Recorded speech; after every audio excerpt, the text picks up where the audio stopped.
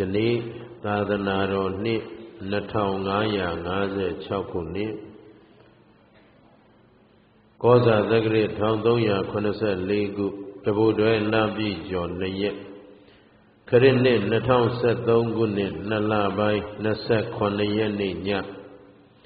ကျေးဇူးတော်ရှင်အကမဟာပန္တိတဘုဂုတ်ဆရာတော်ဘုရားကြီးဤတရားဌာန ကရင်ပြည်နယ်ကော့ကရိတ်မြို့အမှတ်3ရပ်ကွယ်မင်္ဂလာစေယုံကျောင်းတိုက်အတွင်းရှိဓမ္မဘူဇနိယနေရာဌာန၌ကရင်ပြည်နယ်ကောသကံတွင်တရင်သုံးနေထိုင်တော်မူကြကုန်သောဖရာမှုရှိသောသံဃာတော်ရှင်သူမြတ်ပေါင်းတို့အားဥထိတ်ပန်ဆင်လျက်ကရင်ပြည်နယ်လုံးဆိုင်ရာ တောရရွှေကျင်နိကာယဝိနိစာပြန်ဌာနဤ85နှစ်ပြည့်စိန်ရတုအထိတ်မှကျင့်ပပူဇော်အပ်သောဓမ္မပူဇနိယအခါကာလဒုတိယညဓမ္မဒါနကုသိုလ်ရှင်များဖြစ်ကြသောကော့ကရိတ်မြို့သူမင်္ဂလာဖောင်ဒေးရှင်းအဖွဲ့နှင့်ကော့ကရိတ်မြို့သူမြို့သားအများမှစုပေါင်းလှူဒန်းပြုလုပ်အပ်သော ဓမ္မဘုဇနိယကာလအခါသမယ၌တရားတော်နာကြွရောက်တော်မူလာကြကုန်သောယောဂီသူတော်စင်များအားလုံးစိတ်ဤချမ်းသာခြင်းကိုယ်ဤကျမ်းမာခြင်းပြည့်စုံစွာနှင့်ဘုဇင်းတို့ဟောပြောပြသမဲ့သစ္စာတရားများကို နာလဲနာနိုင်ကြပါစေနာတဲ့အတိုင်းလဲသိကြပါစေသိတဲ့အတိုင်းလဲဒီဘဝဒီခန္ဓာမစွန့်ကြခင်ကိုဒုက္ခကို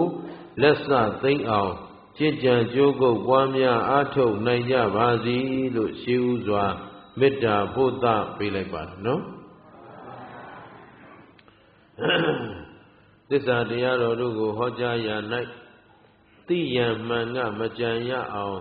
လုံးဝဆုံးလင်းအကုန်အစင်သိမြင်တော်မူသောတပ္ပိညုတဉာဏ်တော်ရှင်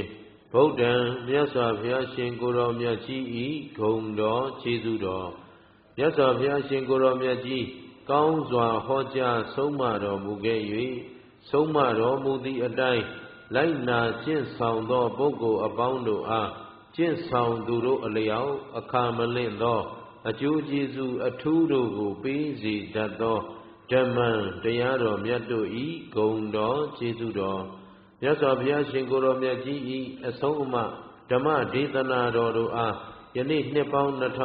2556ခုနှစ်တိုင်တိုင်အတွန့်ရှိတည်တံ့ခိုင်မြဲအောင်အစဉ်အဆက်ထိမ့်သိမ့်စောင့်ရှောက်တော်မူလာကြကုန်သောတန်ကံတန်ဃာတော်မြတ်အပေါင်းတို့ဤဂုံတော်ကျေးဇူးတော်နှင့်တကား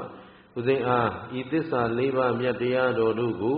ကိုယ်တိုင်လည်းနာကြားသိရှိနိုင်အောင်ယောဂီအပေါင်းသူတော်ကောင်းတို့အားလည်းယခုကဲ့သို့တဖန်ပြန်လဲဟောပြောညွှန်ကြားပြသနိုင်အောင် နိပေလမ်းပြတွင်သင်ဆုံးမပေးတော်မူခဲ့ကြသောဘဝတစ်ပါးသို့ကွယ်လွန်နှိစ္စရောက်သွားကြပြီဖြစ်သောငွေတဖခင်ကျေးဇူးရှင်နှင့်ငွေသမိခင်ကျေးဇူးရှင်ကြီးတို့၏ဂုဏ်ကျေးဇူးဆရာသခင်ဖြစ်တော်မူသောကျေးဇူးတော်ရှင်အေကမဟာပန္တိတဘုဂုတ်ဆရာတော်ဘုရားကြီး၏သီလဂုဏ်တမာတိဂုဏ်ပညာဂုဏ်တို့အား ပူဇော်သောအဖြစ်၎င်းကျေးဇူးဆက်သောအဖြစ်၎င်း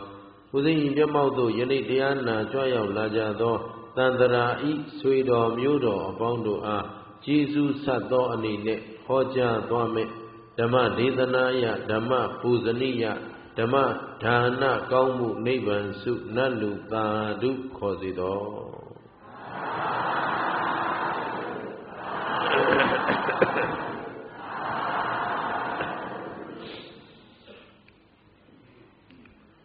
ယောသဝတ္တဝတ္တတတံဇီဝေဒုတ်တိလောအသမဟိတောဧကဟံဇိဝိတံသေယောသီလဝန္တတဇာယိနောယောသဝတ္တတတံဇီဝေဒုတ်ပညောအသမဟိတောဧကဟံဇိဝိတံသေယောပညဝန္တတဇာယိနောမြတ်စွာဘုရားရှင်ကိုရောမြတ်ကြီးမိန့်တော်မူတဲ့အတိုင်း သီလသမာဓိပညာမရှိဘဲနဲ့အသက်တရားနေရတာနဲ့စာရင်တဲ့သီလသမာဓိပညာနဲ့တရက်တမနဲ့နေလိုက်ရတာကမြတ်တယ်လို့မိတ်မိတ်မာတော်မူတဲ့အတိုင်းသူတော်ကောင်းတို့ဦးဇင်းတို့သည်ဗုဒ္ဓဤအဆုံးအမကိုယုံကြည်သက်ဝင်ကြတဲ့ပုဂ္ဂိုလ်တွေဆိုရင် နေတိုင်းအားထုတ်ရမှာက သီလတိုးပွားအောင်သမာဓိတိုးပွားအောင်ပညာတိုးပွားအောင်အားထုတ်ရဒီနေ့ဒီနေ့ကုံသွားလို့သီလလည်းမတိုးပွားသမာဓိလည်းမတိုးပွားပညာလည်းမတိုးပွားခဲ့ဘူးဆိုရင်အဲ့ဒီနေ့ဟာအနှစ်သာရမရှိတဲ့နေ့တန်ဖိုးမရှိတဲ့နေ့အလအပမရှိတဲ့နေ့အကြီးတန်သောနေ့ပေါ့နော်အဲ့တော့အလုံး လောကရဲ့အနှစ်သာရလို့ဆိုဆိုဘဝရဲ့အနှစ်သာရလို့ပဲဆိုဆိုသာသနာတော်ကြီးရဲ့အရင်မြစ်လို့ပဲဆိုဆိုဆိုလို့ရတဲ့အဲ့ဒီသီလသမာဓိပညာသိက္ခာ၃ရပ်ကိုအရေးကြီးထားပြီးတော့အားထုတ်ကြဖို့လိုအပ်မလိုအပ်အားထုတ်သင့်မသင့်ဒါကိုယ်တိုင်စဉ်းစားပါ အခုလူဘဝလေးရခိုင်မှာများသောအားဖြင့်တို့တွေဟာသားရည်သမီးရည်စီးပွားရေးနဲ့ပဲအချိန်ကုန်ကြတယ်။ကဲအဲ့ဒီသားရည်သမီးရည်စီးပွားရေးလှုပ်ရင်းနဲ့ဒီသီလသမာဓိပညာတိုးပွားအောင်အားထုတ်လို့မရဘူးလား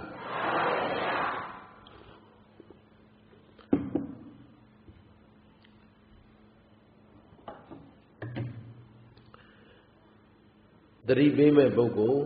လမ်းညွန်မဲ့ပုဂ္ဂိုလ်ဆရာကောင်းသမားကောင်းနဲ့မချင်းကပ်မိတော့တိုင်းသမီးရေးစီးပွားရေးလုပ်ရင်းနဲ့သီလသမာဓိပညာတိုးပွားရမယ်အစားစီးပွားရေးလုပ်ရင်းသီလပြက်လာဟုတ်လားခုခေတ်များသောအဖြစ်လေသီလကျင့်ဝတ်ပြည့်စုံစွာနဲ့စီးပွားရှာတဲ့လူနဲ့သီလဖြတ်ပြီးစီးပွားရှာတဲ့လူဘယ်ရင်းကများ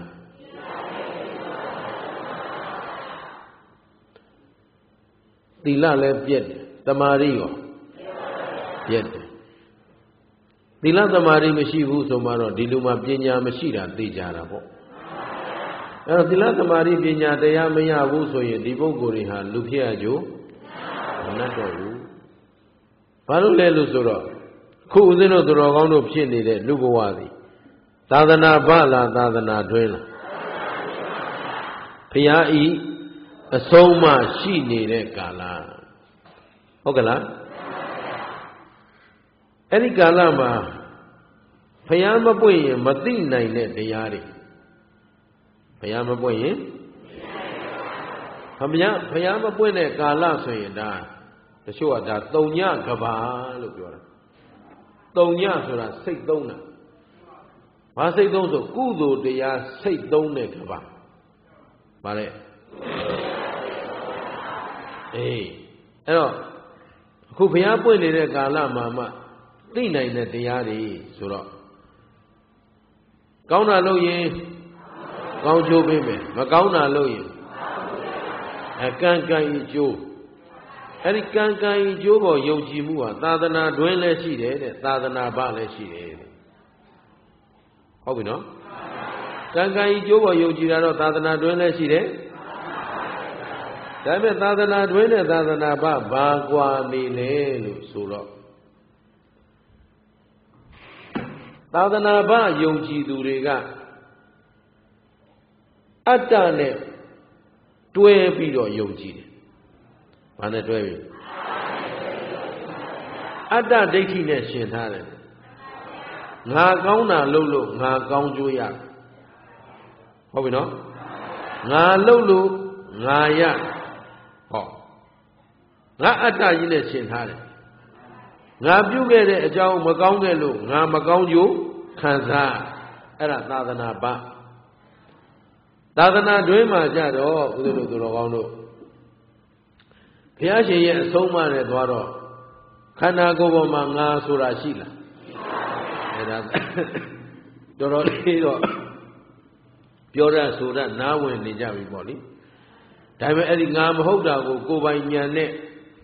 ကိုယ်တိုင်သိအောင်အားထုတ်အောင်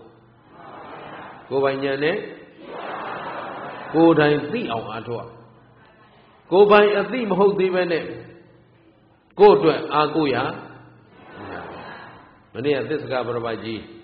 ဟုတ်ကလားအဲမနေ့ကနည်းနည်းလေးကြမ်းညွတ်မားတယ်တုံနှစ်သုတ်ဖတ်လိုက်တယ်သုလ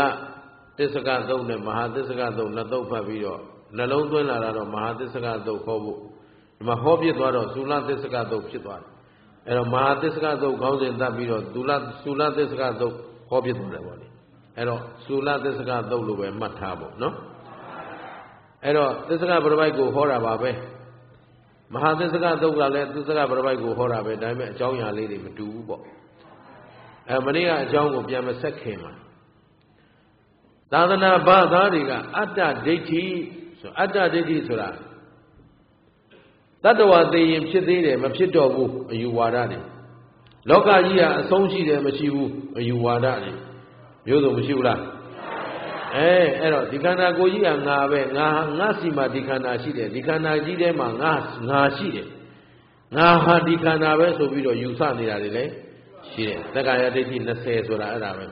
ရုပ်ဟာငါပဲငါစီမှာရုပ်ရှိတယ်ရုပ်ထဲမှာငါရှိတယ်နော် ရုပ်ဟာငါအတ္တပဲလို့ယူဆထားကြတဲ့သက္ကာယဒိဋ္ဌိအဲ့တော့မိစ္ဆာဒိဋ္ဌိများစွာရှိတဲ့ထဲမှာဒီနေ့သူတော်ကောင်းတို့ဦးဇင်းတို့အားလုံးနားလည်အောင်ပြောရရင်အဲ့ဒီမိစ္ဆာဒိဋ္ဌိအားလုံးကိုချုပ်နှောင်ထားတာကသက္ကာယဒိဋ္ဌိဗာဒိဋ္ဌိလဲဘာအားလုံးကိုမိစ္ဆာဒိဋ္ဌိအားလုံးပြန်ပြော မိစ္ဆာဆိုတာလွယ်မှာသောဒိဋ္ဌိဆိုတာအယူဝါဒလွယ်မှာသောအယူဝါဒအားလုံးရဲ့အချုပ်ဟာသက္ကာယဒိဋ္ဌိပြန်ပြောသက္ကာယဆိုတာသက္ကာယသက္ကာယဆိုတာကအရှိတရားတန်တော်ကာယောသက္ကာယောလို့ဒီလိုပြောတယ်နော်တန်တော်သူတော်ကောင်းတို့တဏ္ဍာမှာ ကာယေကာခန္ဓာကိုယ်၌တန်တော်အထင်ရှားရှိသောဒီတရားကိုထင်ရှားရှိသောဆိုတာရူပခန္ဓာဝေဒနာခန္ဓာသိဉ္ဇခန္ဓာသင်္ခါရခန္ဓာဝိညာဉ်ခန္ဓာခန္ဓာဘယ်နှပါလဲအထင်ရှားမရှိဘူးလားတန်တော့သူတော်ကောင်းတို့တန်တန်၌အထင်ရှားရှိသောနော်အဲ့ဒီကာယဒီကိုကာယတရားကြီးကိုသက်ကာယလို့ခေါ်တယ် အဲ့တော့ခန္ဓာ၅ပါးကသက်ကာယအဲ့ဒီခန္ဓာ၅ပါးအပေါ်မှာငါကိုငါဟာငါဥစ္စာလို့လှုပ်လိုက်တာကဒိဋ္ဌိခန္ဓာ၅ပါးကငါကိုငါငါဥစ္စာလှုပ်လိုက်တာကသက္ကာယနဲ့ဒိဋ္ဌိနဲ့ပေါင်း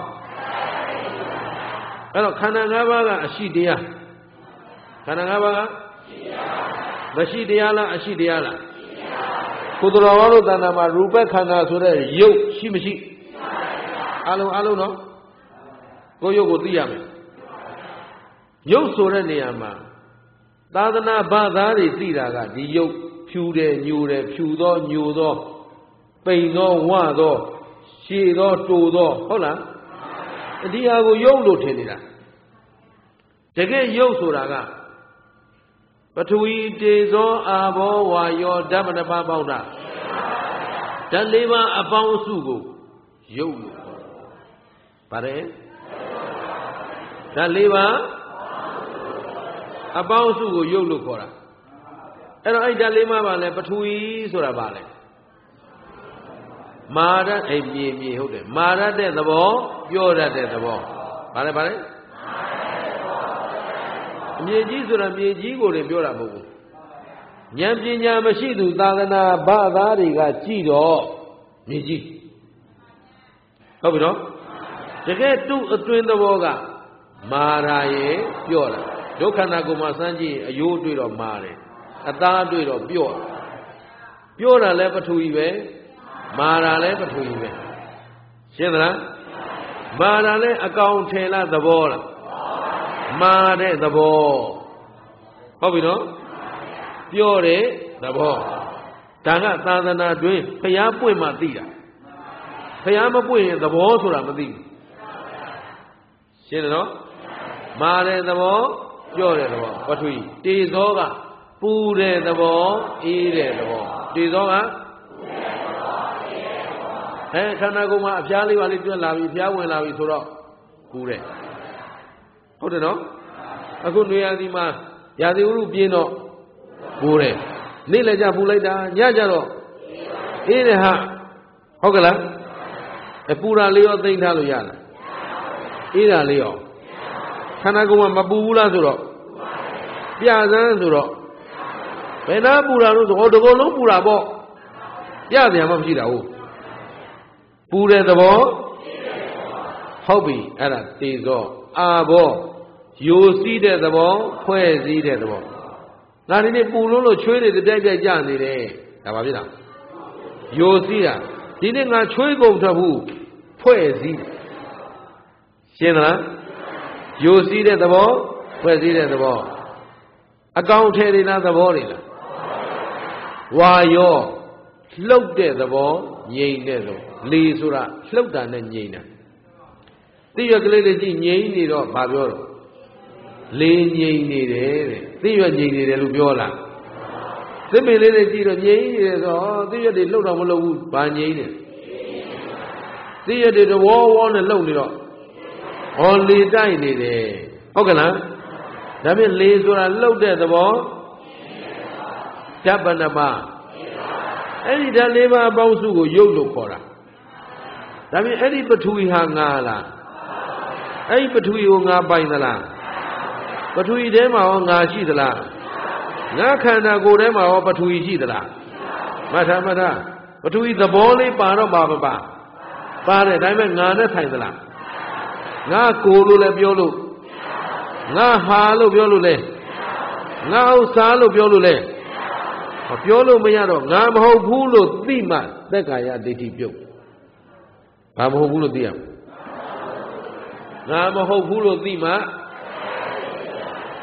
အဲ့ဒီယုတ်ပထဝီတေသောအာဝဝါယောဓာတ်လေးပါပေါင်းစုထားတဲ့ယုတ်ယုတ်တွေပဲကဲခုဒီတရားနာလာကြတဲ့ဝိသက်တွေတယောက်နဲ့တယောက်ရှိနေတဲ့ယုတ်ချင်းတူလားလှတာရယ်မလှတာရယ်မဝတာရယ်ပိန်တာရယ်ဟုတ်လားဒါသဘောမမြင်လို့မတူဘူးလို့ပြောတယ်သဘောမြင်တော့ဓာတ်ပဏပါလှတဲ့ယုတ်လဲဓာတ်လေးပါမလှတဲ့ယုတ်ကော ဝတဲ့ယုတ်ကောပိန်တဲ့ယုတ်ကောရှည်တဲ့ယုတ်ကောပုတဲ့ယုတ်ကောမြင့်မြတ်သောယုတ်ကောရုပ်ညံ့သောယုတ်ကောဘယ်ယုတ်ကြည့်ကြည့်ဓာတ်ဘယ်နှပါဩဒါဖြင့်တလေးပါကိုယ်ပိုင်လားဘုံဆိုင်လားရှင်းသလားအေးဟုတ်တယ်အရပြောပြောတော့တယောက်နဲ့တယောက် ရုပ်ရည်ချင်းလည်းမတူဘူးအသက်ရှည်ပုံချင်းလည်းဥစ္စာဒနာရှိပုံချင်းလည်းမတူဘူးဆိုတော့မတူတာဘယ်သူကထောက်ပံ့တာလဲကံစိတ်ဥရုအာဟာရပြန်ပြောဓာတ်၄ပါးချင်းတော့အတူတူပဲဒါပေမဲ့ဓာတ်၄ပါးမှာရရှိလာတဲ့ဂုံပုတ်ချင်းမတူတာဘယ်သူကြောင့်လဲပြီးတော့ကံစိတ်ဥရုအာဟာရပြန်ပြော ဟုတ်ပြီအတိတ်ကဒီလိုဘုရားတရားတော်တွေကြားနာခြင်းမရှိခဲ့တော့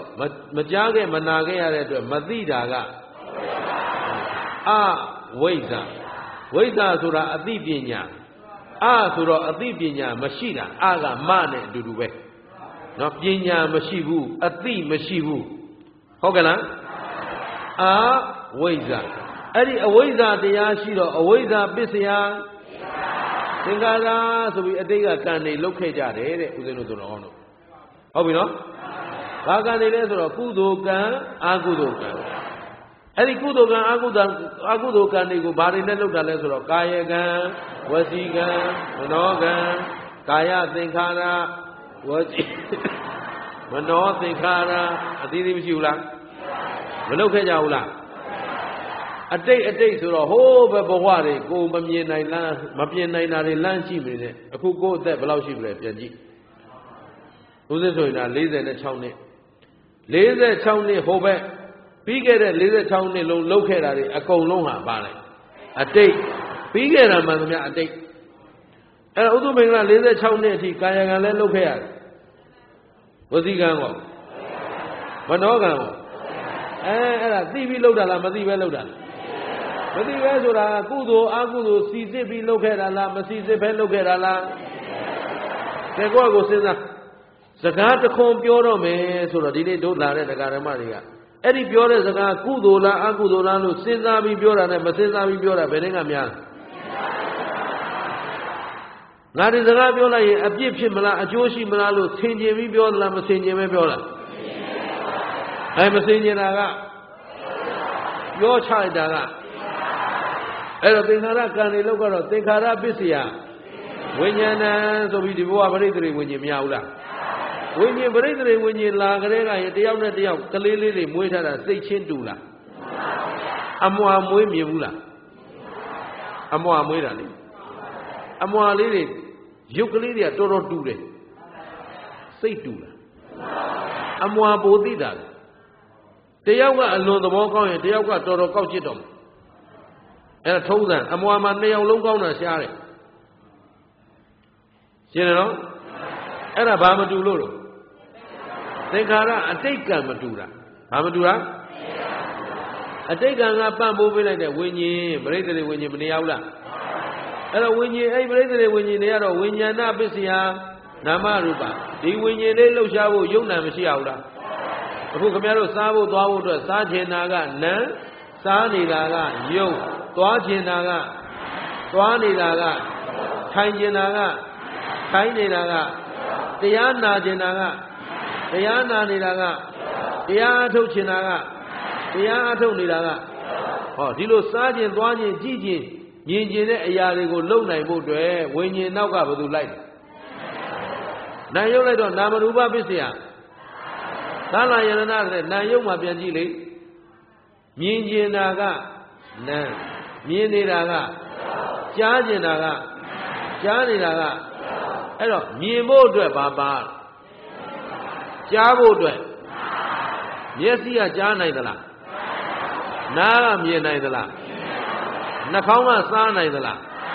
အဲမစားနိုင်တဲ့အတွက်သူတို့အတွက်သူ့ဓွာရနဲ့သူလိုအပ်ချက်တွေဖြည့်ဆည်းရတော့ဓမ္မရူပပစ္စယသလယရဏသအာယရဏမရဘူးလား ရတော့ကသအာယရဏသလယရဏရပြီဆိုသလယရဏပစ္စယဖတ်တာဆိုတော့မျက်စိပါတော့ဗာနဲ့တိုက်အစင်းနဲ့မျက်စိထဲမှာရှိတာအယောင်လေးအယောင်အစင်းမရှိရင်မမြင်ရဘူးကျင်တတ်သလားအခုဦးစင်းနဲ့သူတော်ကောင်းတို့ရဲ့ဂျားထဲမှာလေတူကြီးရှိတယ်အလုံးသက်ရှုံမနေဘူးလားရှုံနေတော့ဒီလေတူကြီးတို့နေတော့တို့ဒီတရားနာပိဋကနဲ့ဦးစင်းနဲ့ဂျားထဲမှာရှိနေတယ်မြင်ရလားဘာလို့မြင်လဲ ဆင်းမရှိလေရှိမှန်းတော့သိတယ်အခုရက်ခတ်ကြည့်လိုက်လေလေးထွက်လာဟုတ်တယ်နော်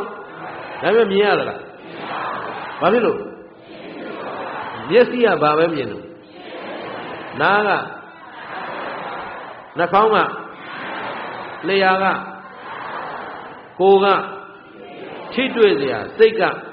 ကြံတွေးစရာသူ့အာယုံနဲ့သူ့ द्वार မရှိဘူးလား သူ့အာယုံနဲ့အဲ့ဒါကိုယ်အကြိုက်ကိုယ်အလိုက်လုပ်နေတာလားသူ့လုပ်သူလုပ်နေတာအေးအဲ့ဒါဓာတ်တွေမျက်စိဆိုတာမြင်တတ်တယ်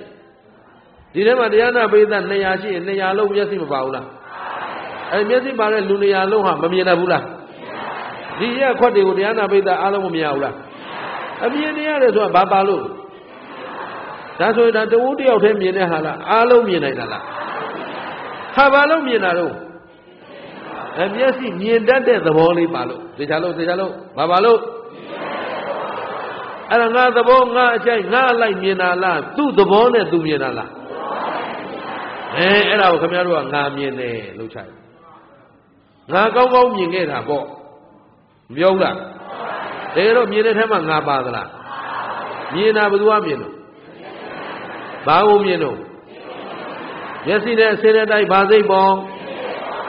နားနဲ့အတန်နဲ့တိုက်ဘာစိတ်ပေါ်အဲ့ဒါတိုက်တာဖတ်တာရှင်းသလားအဲ့တော့တလယနာပစ္စယဖတ်တာပစ္စယဝေဒနာဆိုတော့မျက်စိနဲ့မြင်တော့မြင်ပြီးတဲ့နောက်ဒီတိုင်းမထားဘူးတဲ့ခံစားကြည့်အစင်းလေးလှတယ်မလှဘူးဟုတ်ကလားမလှဘူးလား ရိုးရိုးမထားဘူးခင်ဗျားတို့ကမြင်လိုက်တယ်ဆိုဒီတိုင်းမထားဘူးလှတယ်မလှဘူးကြိုက်တယ်မကြိုက်ဘူးမလှဘူးလားအဲ့တော့အတန်လေးကြားတယ်ဒီအတန်ကောင်းတယ်မကောင်းဘူးဟုတ်ကလားအဲ့တော့ခံစားတာကဝေဒနာကြိုက်မကြိုက်ဆုံးဖြတ်တာကဟောဝေဒနာနောက်ကဘာလို့လာတော့ဝေဒနာလာတော့လေဝေဒနာတွေရပ်မထားဘူးမုံကလေးတစ်ခုစားကောင်းတယ်ဆိုဟာစားကောင်းလိုက်တယ်ဆိုစားကောင်းတယ်ဆိုထပ်စားခြင်းစိတ်မပေါ်ဘူးလား နောက်တော့နောက်နောက်ထပ်ထပ်ပြီးတော့စားခြင်းတယ်စားခြင်းတာကမစားရမနေနိုင်တာကဟောဆွဲလန်းလာတာဆွဲလန်းလာတာစားရပါများတော့ဆွဲလန်းလာတယ်မစားရတော့လည်းမျောတယ်လူလူပဲမျောနေတာလည်းဥပါဒံပဲဆွဲနေတာလည်းဥပါဒံပဲခုခေါ်ရတဲ့မှာတခါကြီးတွေဆိုလက်ဖေးဆွဲနေတာရှိတယ်ဟမ်ဆေးလိပ်ဆွဲနေတာရှိတယ်ကွန်းဆွဲနေတာရှိတယ်အရက်ဆွဲနေတာရှိတယ်ဟုတ်ကလားအဲ့တော့ဆွဲနေတာကအဲ့အဲ့ဒါစားလို့ဆွဲတာ မသားရင်မျောပါရှင်းလားအဲစားလို့ဆွဲတော့လဲဥပါဒာပဲမစားလို့မျောတော့လဲဥပါဒာပဲမတ္တတဏှာပစ္စယဥပါဒာလာတော့ဥပါဒနာပစ္စယကာယကံဝစီကံမနောကမလုပ်ဘူးလားလုပ်ရင်ဒီကံတွေကအတိတ်ကံတုန်းကပြစ္ဆုတ်ပံကိုအကျိုးမပေးဘူးလား ဒီပြစ္ဆုတ်ပံဒီနေ့လှုပ်ထားတဲ့ကံတွေကရောလေလိုပြလိုလွင့်သွားမှလားအကျိုးပေးမှလားအကြောင်းရှိရင်အကြောင်းမရှိရင်အကြောင်းဖြစ်ရင်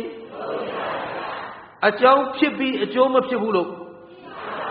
အကြောင်းချုပ်ရင်သိကြတယ်နော်ဒါပေမဲ့ကာမဘဝပြည့်စရာပါလား ဇာတိဆိုတာတကယ်တော့ဝိညာဉ်နာယုတ်သလယနာခန္ဓာဝေဒနာခန္ဓာဘယ်နှပါးပြန်ရခန္ဓာ၅ပါးပြန်ရတော့ဇာတိရပြီဆိုလို့ဇာတိနောက်ကဘယ်သူလိုက်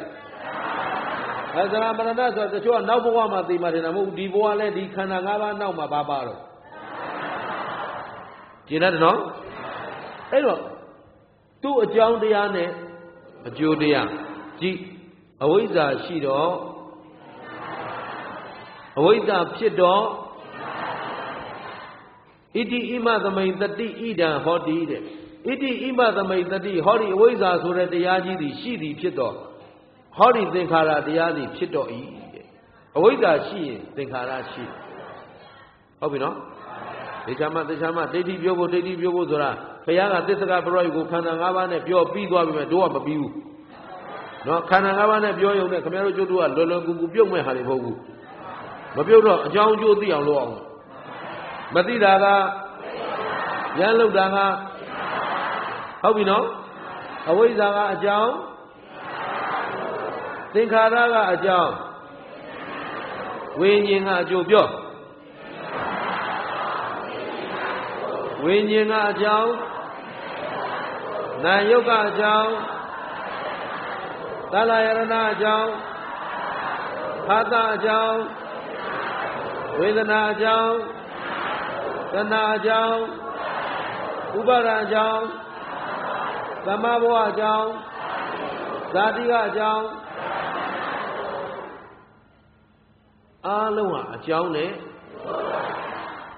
ဒါကြောင့်အကြောင်းအကျိုးဆက်ဆက်လက်ပတ်နေလို့ပဋိစ္စသမုပ္ပါပဋိစ္စကအကြောင်းသမုပ္ပါကအကျိုးဟုတ်ပြီနော်ကောင်းပြီအဲ့ထဲမှာပြန်ကြည့်မယ် ဒီအဝိဇ္ဇာစဇရာမရဏအဆုံးဟောဒီဝိညာဏယောသနာဖသဝေဒနာတဏှာဥပါဒကဇာတိဇရာမရဏအစရှိတဲ့ဒီတရားတွေဟာဘယ်မှာရှိတာဘု து ခန္ဓာမှာသိကြပြီနော်ကဲတပည့်တော်တို့ခန္ဓာမှာရှိရင်ဟောဒီအဝိဇ္ဇာဆိုတဲ့တပည့်တော်တို့ခန္ဓာကအဝိဇ္ဇာကိုခမည်းတော်ပိုင်ကြလားဟောလာပြီဟင်ပိုင်သလား ခမည်းတော်တဏ္ဍာမှာဒီအဝိဇ္ဇာကရောအမြဲရှိလားဟောရှိတော့ဒါပေမဲ့အမြဲတော့ကြည့်လေအဝိဇ္ဇာပစ္စယသင်္ခါရလုံနေတဲ့အချိန်မှာအဝိဇ္ဇာရှိသေးလားအဲသင်္ခါရဝิญဉ်လုံတဲ့အချိန်ရောနာယုတ်လုံနေတဲ့အချိန်ရောသလ္လာယနာလုံနေတဲ့အချိန်ရောသူ့အလဲရောက်မှသူရောက်လာရှင်းတယ်နော် အဝိဇ္ဇာဆိုတဲ့ဓာတ်တတိကတော့တော်တော်လို့တဏ္ဍာမှာရှိမရှိဒါပေမဲ့သူအလုံးလုံးတာတော့သူ့အလဲရောက်မှအလုံးလုံးရှင်းတယ်နော်ဒါပေမဲ့အဲ့ဒီဝိဇ္ဇာဆိုတဲ့နှလုံးကြီးမသိတတ်တဲ့တရားသည်တော်တော်ကောင်းလို့ဦးဇင်းတို့တဏ္ဍာမှာအားလုံးရှိမရှိဒါဖြင့်ခမည်းတော်မသိတာနဲ့ကျုံမသိတာနဲ့တူပါမယ်ဟ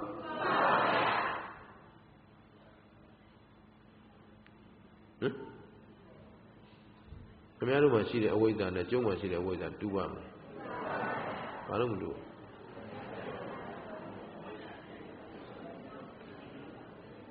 မတူဘူးဆိုရင်ဖရာရေးခဲ့မှာပေါ့ဒါကသူ့မင်္ဂလာအဝိဇ္ဇာဒါကကောကရိအဝိဇ္ဇာဟမ်ဒါကမြဝတီအဝိဇ္ဇာလာမှာပေါ့အဲ့လိုဘုရားရေးခဲ့လားဘုရားမသိလို့ထင်တယ် ဟမ်ဒါသီလရှင်တွေရဲ့အဝိဇ္ဇာဒါဘုန်းကြီးတွေရဲ့အဝိဇ္ဇာဒါကပ္ပိယရဲ့အဝိဇ္ဇာဟုတ်လားရှိလားဘယ်သူမှရှိတဲ့အဝိဇ္ဇာဖြစ်ဖြစ်ဘယ်သဘောတော့မသိတတ်တဲ့သဘောပြန်ပြောဒါဖြင့်အားလုံးကရှိနေတဲ့အဝိဇ္ဇာသဘောချင်းကတူလားမတူဘူးလားမတွေ့လို့ဘုရားနဲ့ပြန်တွေ့မှဖြစ်တယ်။ဘုရားစီပြန်လိုက်ရမယ်မိယာနဲ့လိုက် ဟမ်ရှင်ဘုရားကဘာလို့တပည့်တော်အတွက်အဝိဇ္ဇာသီးသန့်မထားခဲ့သလဲဒီမှာမတူဘူးပြောနေကြတယ်တူလားမတူဘူးလားအဝိဇ္ဇာရှိနေသေးသေးတတ္တဝါတွေအားလုံးအတူတူပဲရှင်းလားဒါကြောင့်လူမသိတဲ့အဝိဇ္ဇာနဲ့ခွေးမသိတဲ့အဝိဇ္ဇာအတူတူပဲမှတ်ထားခွေးတွေနဲ့တန်တရားလဲနေတာအဝိဇ္ဇာစသရမရဏဆုံးပြန်ပြောပြန်ပြောအဝိဇ္ဇာစ ဟိုးအောက်ကငရဲကောင်တွေတန်တရားလဲနေတာလဲဟိုနတ်ပြည်၆ဓာတ်ကကောင်တွေလဲဟိုဗြဟ္မပြည်ကကိုတော်ကြီးတွေလဲရှင်းလားသဘောပေါက်သလားအဲ့တော့အဝိဇ္ဇာဆိုတာကကိုတူးတဲ့မူပိုင်တရားလားဘုံဆိုင်တရားအဲ့ဒါကိုမပိုင်တာကိုပိုင်လှုပ်ချင်တာသက်ကာယဒိဋ္ဌိပဲ ရှင်းလားအဝိဇ္ဇာမရှိဘူးလားပိုင်သလားအဝိဇ္ဇာလည်းဖြစ်ပြီးရင်သင်္ခါရလည်းဖြစ်ပြီးရင်ဝိညာဉ်လည်းဖြစ်ပြီးရင်အကြောင်းဖြစ်ရင်အကြောင်းချုပ်တော့ရှင်းသလားကိုဦးတို့တော်ဘောင်းတို့တန်တရားမလဲကြဘူးလားလဲတယ်ဆိုတာလူတွေနတ်တွေပြမာတွေခွေးတွေကြောင်တွေတိရစ္ဆာန်တွေလဲနေတာလားဓမ္မတွေလဲနေတာလားအကြောင်းတရားနဲ့ ခွေးဆိုတော့လေခွေးပရိစ္ဆသမုပ္ပါပြောသမ်းပါဝိဇ္ဇာသင်္ခါရဝိညာဉ်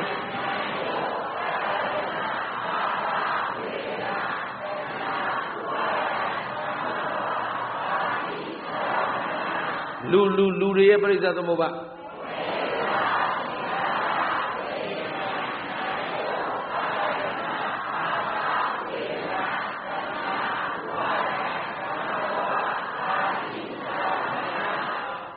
ဖုံဖုံဖုံဖုံဖုံတို့ပရိစ္ဆသမုပ္ပါ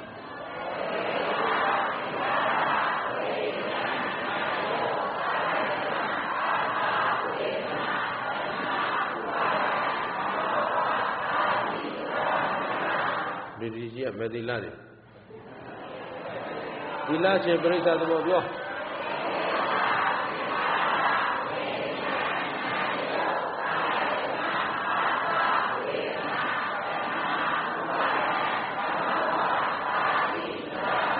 အာ ကောကရိမြို့သူမြို့သားတွေရဲ့ပြိဿသမုပ္ပါ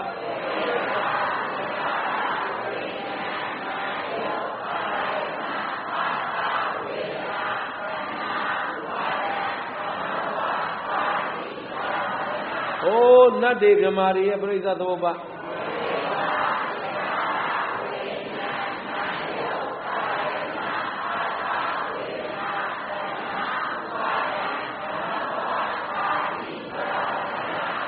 ခိုင်းအဲ့လိုနာနာ လိုက်ဆိုလိုက်တော့တဖြည်းဖြည်းမသိရပဲနဲ့ရသွားကဲအခုဆိုခဲ့တာလေးပြန်နှလုံးသွင်းကြည့်လိုက်ခွေးတွေအတွက်လည်းဒီပရိစ္ဆသမုပ္ပါပဲဝက်တွေကျွဲတွေနားတွေတိရစ္ဆာန်မှန်သမျှဒီပရိစ္ဆသမုပ္ပါလူတွေရောလက်တွေပြမာတွေရောဒါဖြင့်လောကမှာကျင်လည်နေတာကတတ္တဝါတွေလားဓမ္မတွေအကြောင်းတရားနဲ့ အဲ့ဒီအကြောင်းကျိုးတွေကိုငါကိုငါဟာလို့ဆိုလို့အဝိဇ္ဇာကိုငါလို့ဆိုမလားသင်္ခါရကိုငါလို့ဆိုမလားဝိညာဉ်ကိုငါလို့ဆိုမလားဘယ်တရားကိုမှငါပိုင်ပါလို့ပြောလို့မျက်စိရှိရင်မျက်စိရှိတဲ့လူတိုင်းဘာလို့မျက်စိရှိတဲ့လူတိုင်းမြင်တတ်တယ်မျက်စိဆိုတာကိုကဒီမျက်လုံးကြီးကိုပြောတာလားမြင်တတ်တဲ့သဘောကိုပြောတာအဲ့ဒါမှတ်တာနားဆိုတာက အဲ့ဒါကြားတတ်တဲ့သဘောလေးကိုငါလို့ဆိုလို့ငါဥစ္စာလို့လည်းပြောလို့အေးတကယ်တော့သာသနာတွင်းသားနဲ့သာသနာဘာသာဘာကွာလဲဆိုတော့သာသနာဘာသာကကံကံဤကျိုးကိုတော့သိတယ်တဲ့ကောင်းတာလို့ရင်ကောင်းကျိုးပေးမယ်မကောင်းတာလို့ရင်ဒါပေမဲ့ तू ကဘာနဲ့သိလို့ဆိုအတ္တဒိဋ္ဌိနဲ့သိအတ္တဒိဋ္ဌိဆိုတာတက္ကရာဒိဋ္ဌိပဲနော်အများကြီးမမှတ်နဲ့တစ်လုံးနဲ့မှတ်လိုက်တော့ဒိဋ္ဌိအလုံးရဲ့အချုပ်က တက္ကရာဆိုတာတက္ကရာကအရှိတက္ကရာကဘာလဲ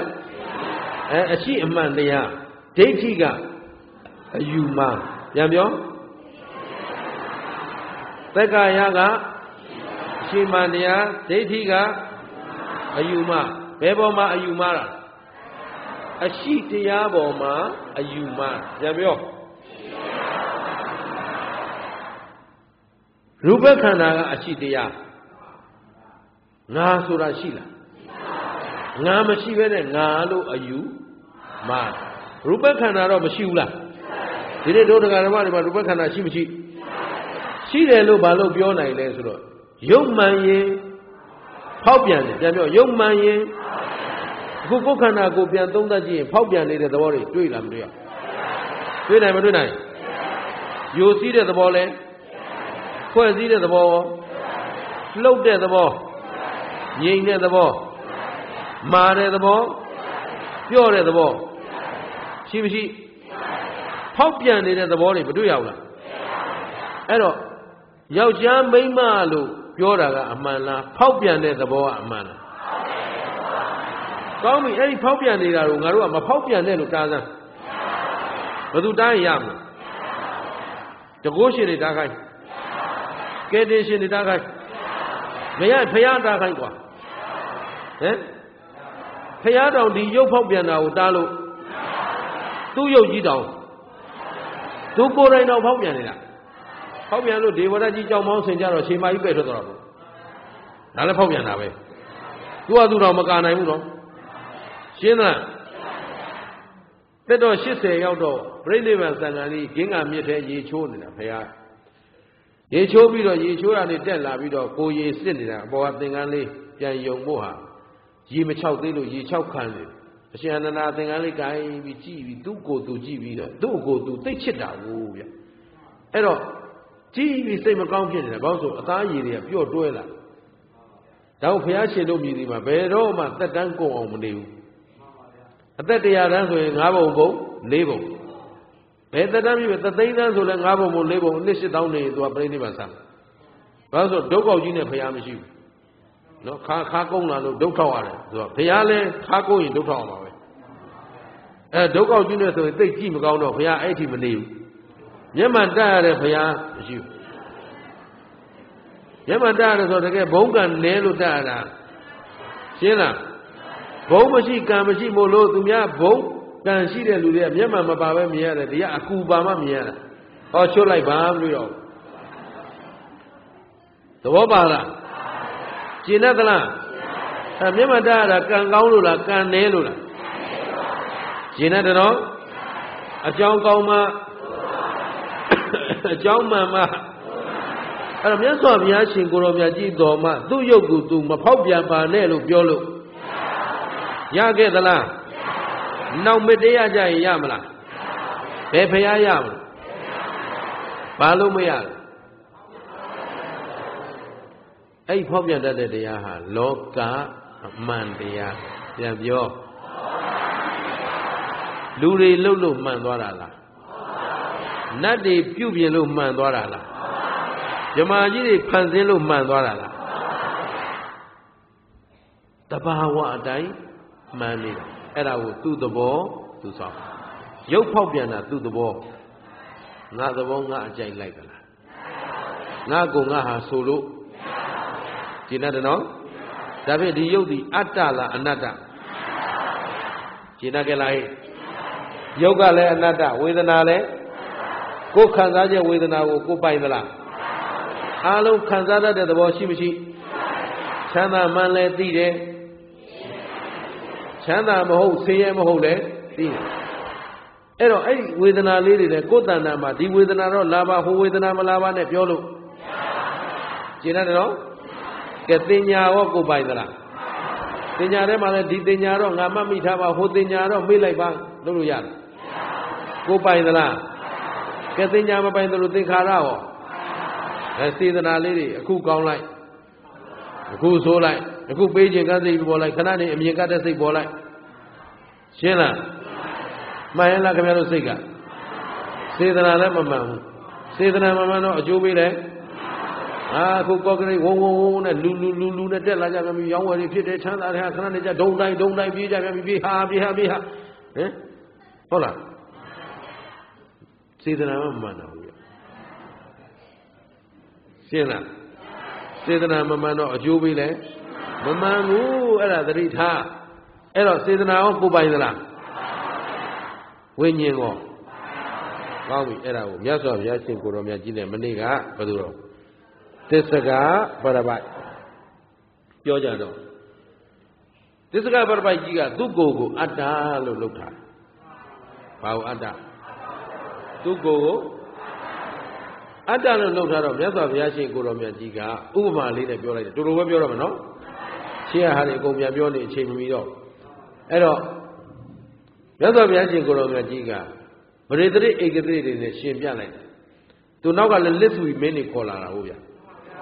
ဖခင်ကဘာလို့ဒီဥပမာပေးလဲဆိုတာအကြောင်းရှိတယ်သစ္စကပရပိုက်နဲ့သူနဲ့ပြောရင်နောက်ကလစ်သူမင်းတွေကအများကြီးကျွတ်သွားမှာသစ္စကကတော့မကျွတ်ဘူးနော်သစ္စကကတော့မာနာကြီးတယ်မကျွတ်ဘူးကျွတ်သွားတာကနောက်ကလစ်သူမင်းတွေ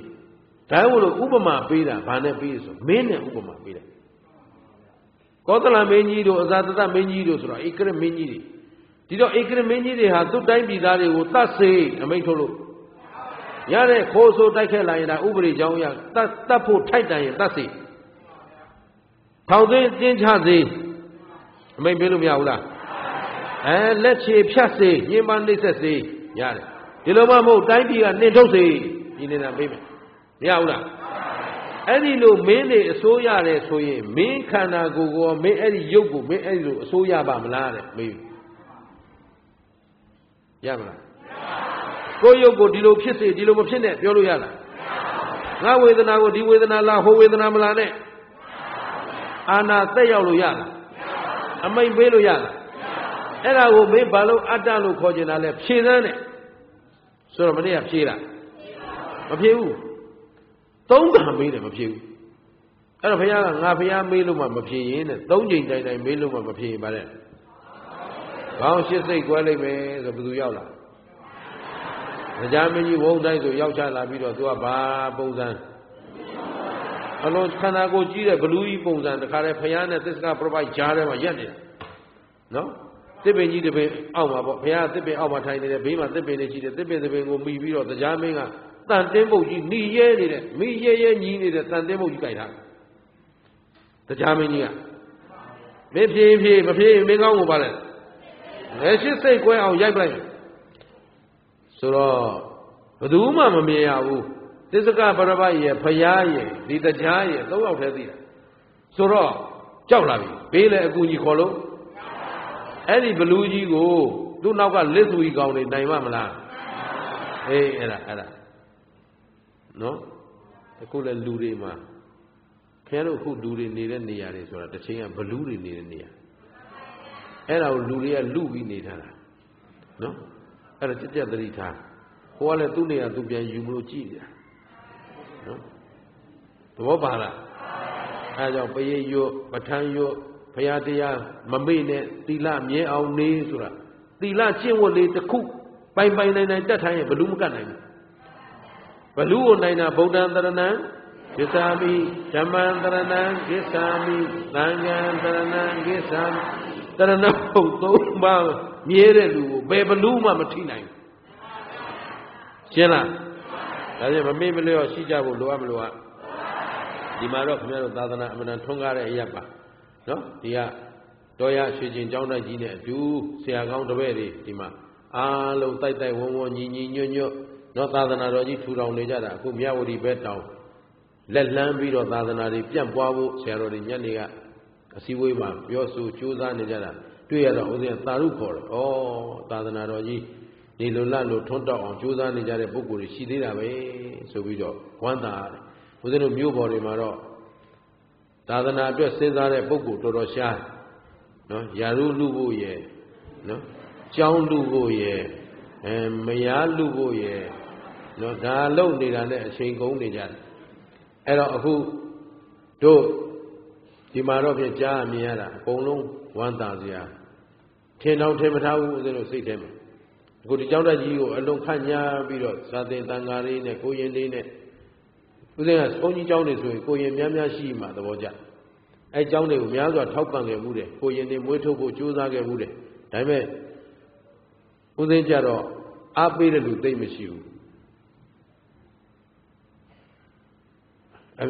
အမြင်ကျင်းစွာနဲ့နှောက်ယှက်ခြင်းတဲ့လူကများ ကိုရင်1500လောက်မွေးပြီးပြီတန်ကအရေးခင်းကြီးဖြစ်လိုက်တော့အကုန်ပြန်ချသွားလိုက်တာတကောင်မှပြန်မလာတော့အဲသာမဏေကျော်၄ပါးပါသွားတယ်နှမျောလိုက်တာဗျာနော်မိဘတွေကပြန်ပို့ပေးပါဆိုတော့မတတ်နိုင်တော့ဘူးမိဘဆိုတော့မလွန်သာနိုင်ဘူးအကုန်ပြန်ပို့ပြန်ပို့လေရင်စည်းတွေကုန်နောက်ကျုပ်ကလည်းဒီဗမာပြည်ထဲကမွေးရင်အမတန်ခက်တယ်ကိုရင်ကအခုကောကရိကကောကရိသားကိုကိုရင်မွေးလို့မရဘူးဘာလို့ဆိုတော့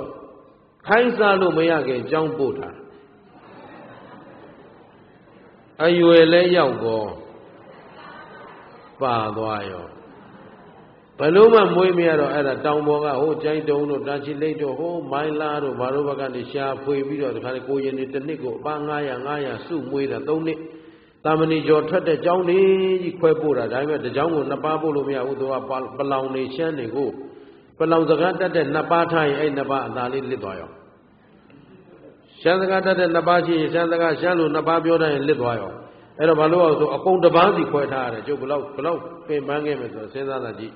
နော်ကြောင်းကြောင်းအများကြီးရှာရတယ်အဆင်ပြေအောင်လို့အဲ့တော့အဲ့လိုလုတ်ခဲ့ပြီးပြီမဲ့အဆင်မပြေခဲ့ဘူးအခုဒီမှာဒီလိုတွေ့ရတော့အလုံးပူဝမ်းသာကော့ကရိတ်မြို့သူမြို့သားတွေတကယ်ကံကောင်းတယ်ဒီလိုထောက်ပံ့ခွင့်ရတာနော်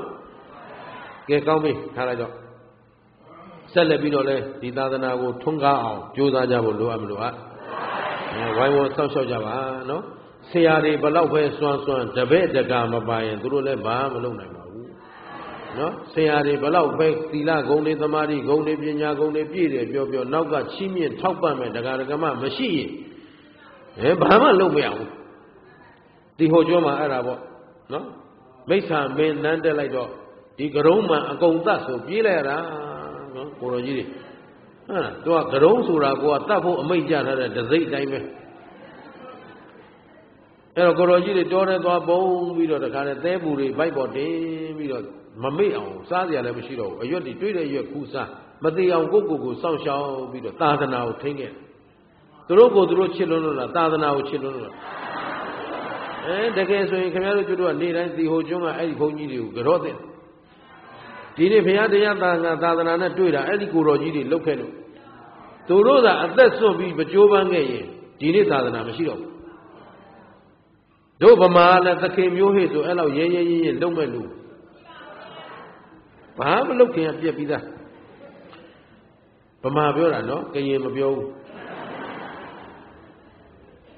gain အဲ့တော့ခုနသစ္စကပရပိုက်ပြန်သွား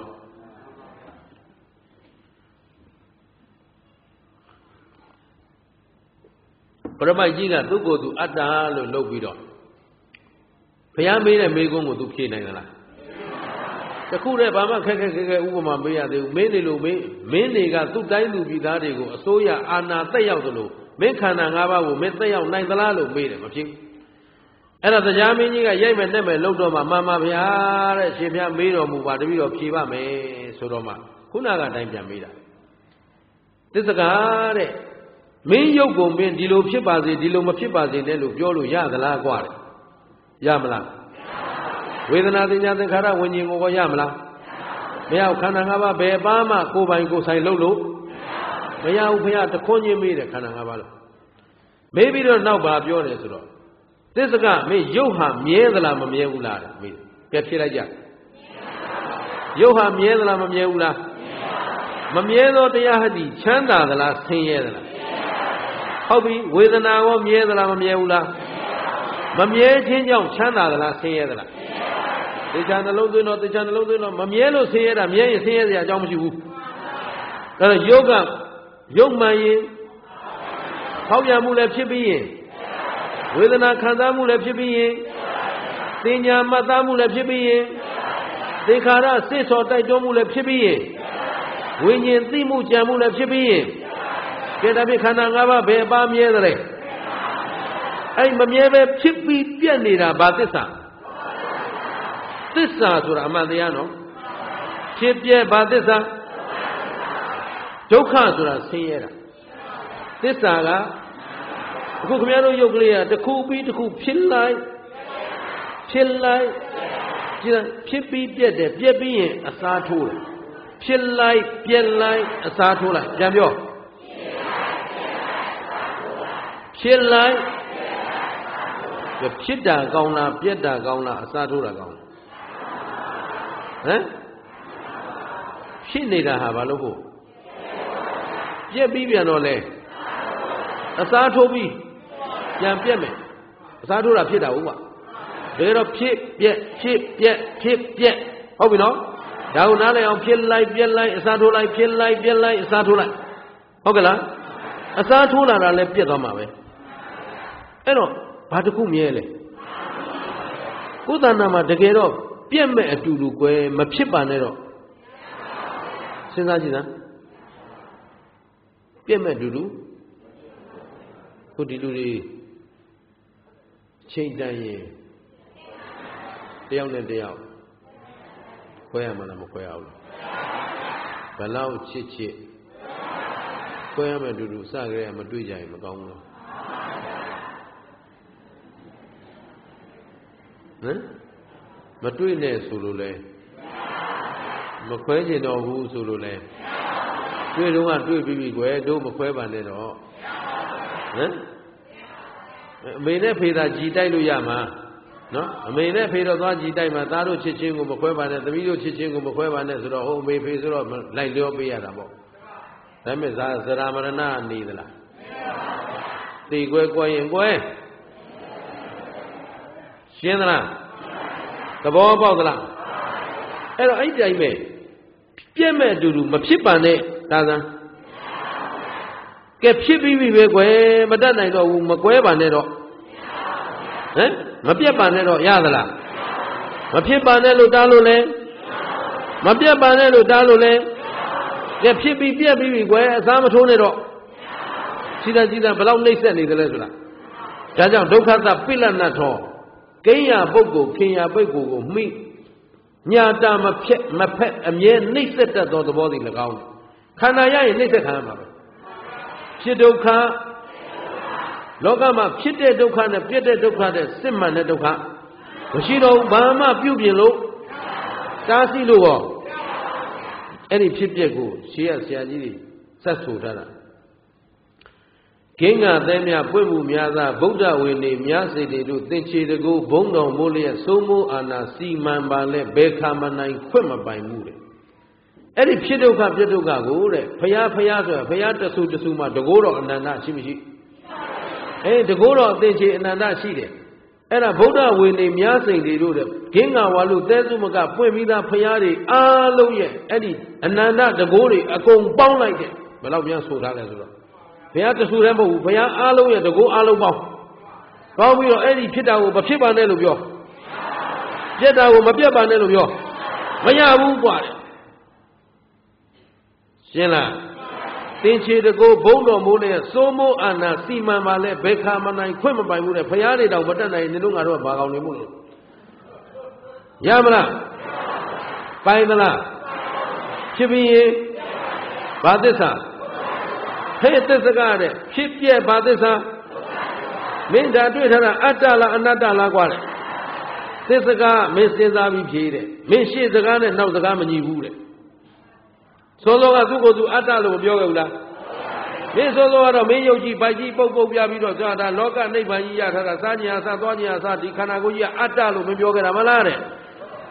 အခုမင်းမင်းအတ္တလို့မင်းဆိုနိုင်သေးလားတဲ့ဆိုမဆိုနိုင်တော့ပါဘူးဗျာ ရှင်းလိုက်ကဲသစ္စကမှတ်ထားကွာအဲ့ဒီဒုက္ခသစ္စာကြီးပေါ်မှာငါကုံငါဟာငါဥစ္စာလို့တကယ်တော့ခန္ဓာဘယ်နှပါးခန္ဓာ၅ပါးအချင်းဆုံးလိုက်ရင်ဖြစ်ပြီးတော့ဖြစ်ပြက်ပဲရှိတယ်ရုပ်ကြီးလည်းဖြစ်ပြက်နာမ်ကြီးလည်းရုပ်ဝေဒနာသင်ညာသင်္ခါရခွဲနေတာကိုကဒါကခင်ဗျားတို့တို့လို့ရှုပ်နေလို့ခွဲနေရတာတကယ်တော့ဉာဏ်ရှင်းသွားရင်ဘယ်တရားကြီးကြီးဖြစ်ပြီးရင် ရုပ်လည်းပြောစရာမရှိဘူးဝေဒနာလည်းပြောစရာမရှိဘူးသင်ညာလည်းပြောစရာမရှိဘူးသင်္ခါရလည်းပြောစရာမရှိဘူးဝိညာဉ်လည်းပြောစရာမရှိဘူးကြည့်လိုက်တဲ့တရားတိုင်းဟာဖြစ်ပြီးရင်အဲ့တော့ဖြစ်ပြက်ဒါပဲရှိတယ်ဖြစ်အဲ့ဒီဖြစ်ပြက်ပါသစ္စာအဲ့တော့ဒီခန္ဓာမှာတကယ်ရှိနေတာကဒုက္ခသစ္စာပဲရှိတယ်အဲ့ဒီဒုက္ခသစ္စာကြီးကိုဒုက္ခသစ္စာလို့အမှန်မသိတော့ဒီပုဂ္ဂိုလ်ဒီခန္ဓာပေါ်မှာမခင်ဘူးလားဟေးခင်မင်မှုဆွဲလန်းမှုရှိတော့ငါကိုငါဟာ ဒုက္ခသစ္စာကြီးပေါ်မှာဗာဒိဋ္ဌိနဲ့ကပ်အဲ့သက္ကာယဒိဋ္ဌိကပ်နေရင်အယူမှန်မလားအယူမှားမလားခုမင်းအဲ့ဒုက္ခသစ္စာပေါ်မှာအယူမှားနေတဲ့ပုဂ္ဂိုလ်ငါကိုငါဟာငါဥစ္စာလို့ယူဆနေတဲ့ပုဂ္ဂိုလ်ကဒီဒုက္ခသစ္စာကလွတ်မလားกว่าတယ်လွတ်နိုင်သလားဒီဒုက္ခသစ္စာကို तू ပယ်ဆွတ်နိုင်မလားရှင်းတယ်နော် ဒါပြင်အဲ့ဒုက္ခသစ္စာပေါ်မှာตาယာနေတဲ့ပုဂ္ဂိုလ်တယောက်ကဒီတန်တရားဒုက္ခကလွတ်မြောက်တယ်လို့မြန်မင်းရှိနိုင်မလားတဲ့ तू ကလောကနိဗ္ဗာန်ရထားပြီလို့ तू ပြောတာသူ့ကိုယ်သူနိဗ္ဗာန်ကိုသိထားတဲ့ပုဂ္ဂိုလ်လို့ပြောနေတာဒါပေမဲ့ तू ဒုက္ခသစ္စာပေါ်မှာဆွဲလန်းမှုရှိမရှိငါကငါဟာလို့ယူဆမှုရှိမရှိ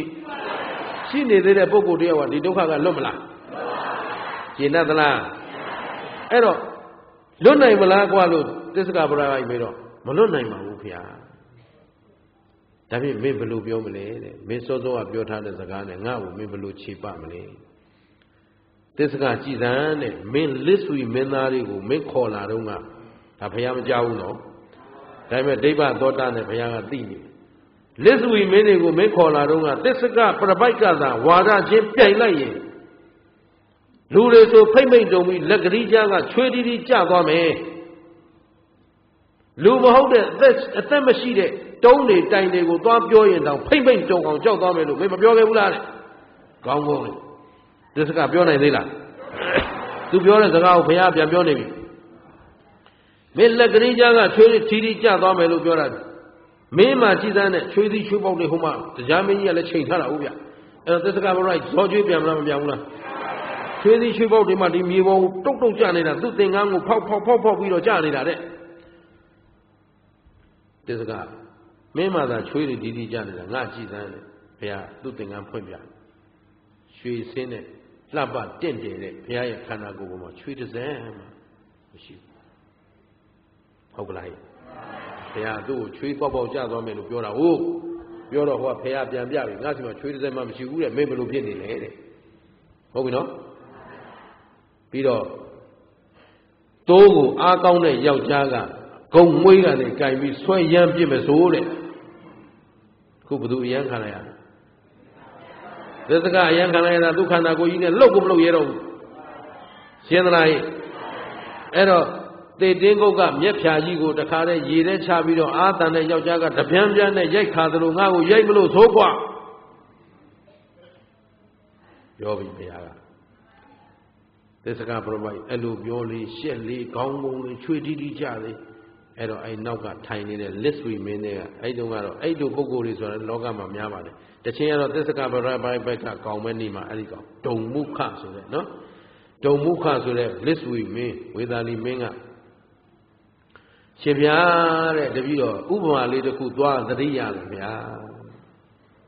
ဒီပြီးတော့လျှောက်ထားခွင့်ပြုပါဘုရားပြောဦးငြိမ်းနေတယ်သစ္စကကကြည်နေတာပေါ့ဒီကောင်ချွေးတွေပြန်နေပြီပြောရဲဘူး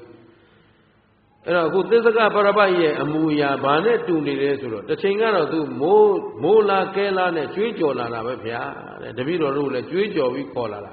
ဒီနေ့တော့ဖြင့်ဘုရားရှင်ကိုရောမြတ်ကြီးကိုဝါရတွေကိုခြေမုံပြီးတော့ဆုံးမပလိုက်မယ်ပဲ့ပြင်ပလိုက်မယ်နဲ့သူပြောလိုက်တာတော့အကြီးကျယ်ပဲဒါပေမဲ့အခုတွေ့ရတာတော့ဗျာဥပမာအပြင်ရေကန်တကန်ထဲမှာတဲ့ပဇွန်လုံးတစ်ကောင်ရှိတယ်အဲ့ဒါရွာသူသောငယ်တွေကဒီပဇွန်လုံးကိုတခါလေရေထဲဆင်းဖမ်း ဖမ်းပြီးတော့ကုန်းပေါ်ရောက်လာတော့မှဒီပဇွန်လုံးကိုလက်တွေခြေတွေနောက်လက်မကြီးတွေနော်ညက်ကြီးတွေကိုတခါလေဒုံးနဲ့ဖြစ်စီအိုးချမ်းပဲနဲ့ဖြစ်စီအကုန်ဖြတ်ထုတ်တယ်လက်လည်းမရှိဘူးခြေလည်းမရှိဘူးအကုန်ပြတ်သွားပြီပဇွန်လုံး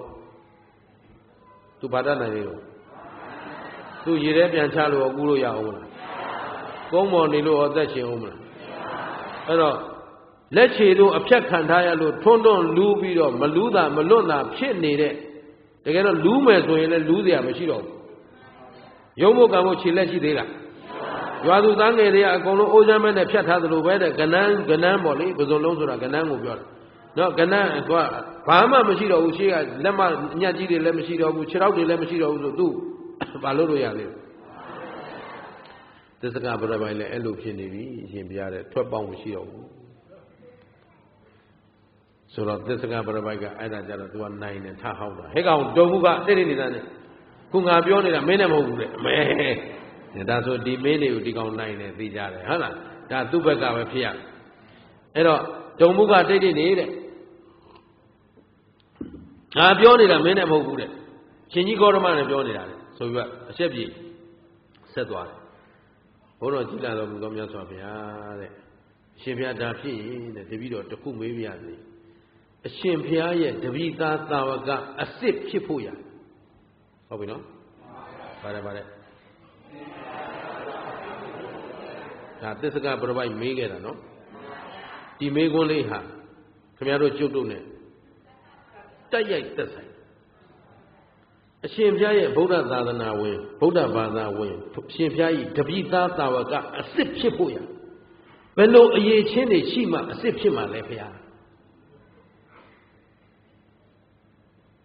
မေးထိုက်ကိုမေးထိုက်သိတဲ့မသိတဲ့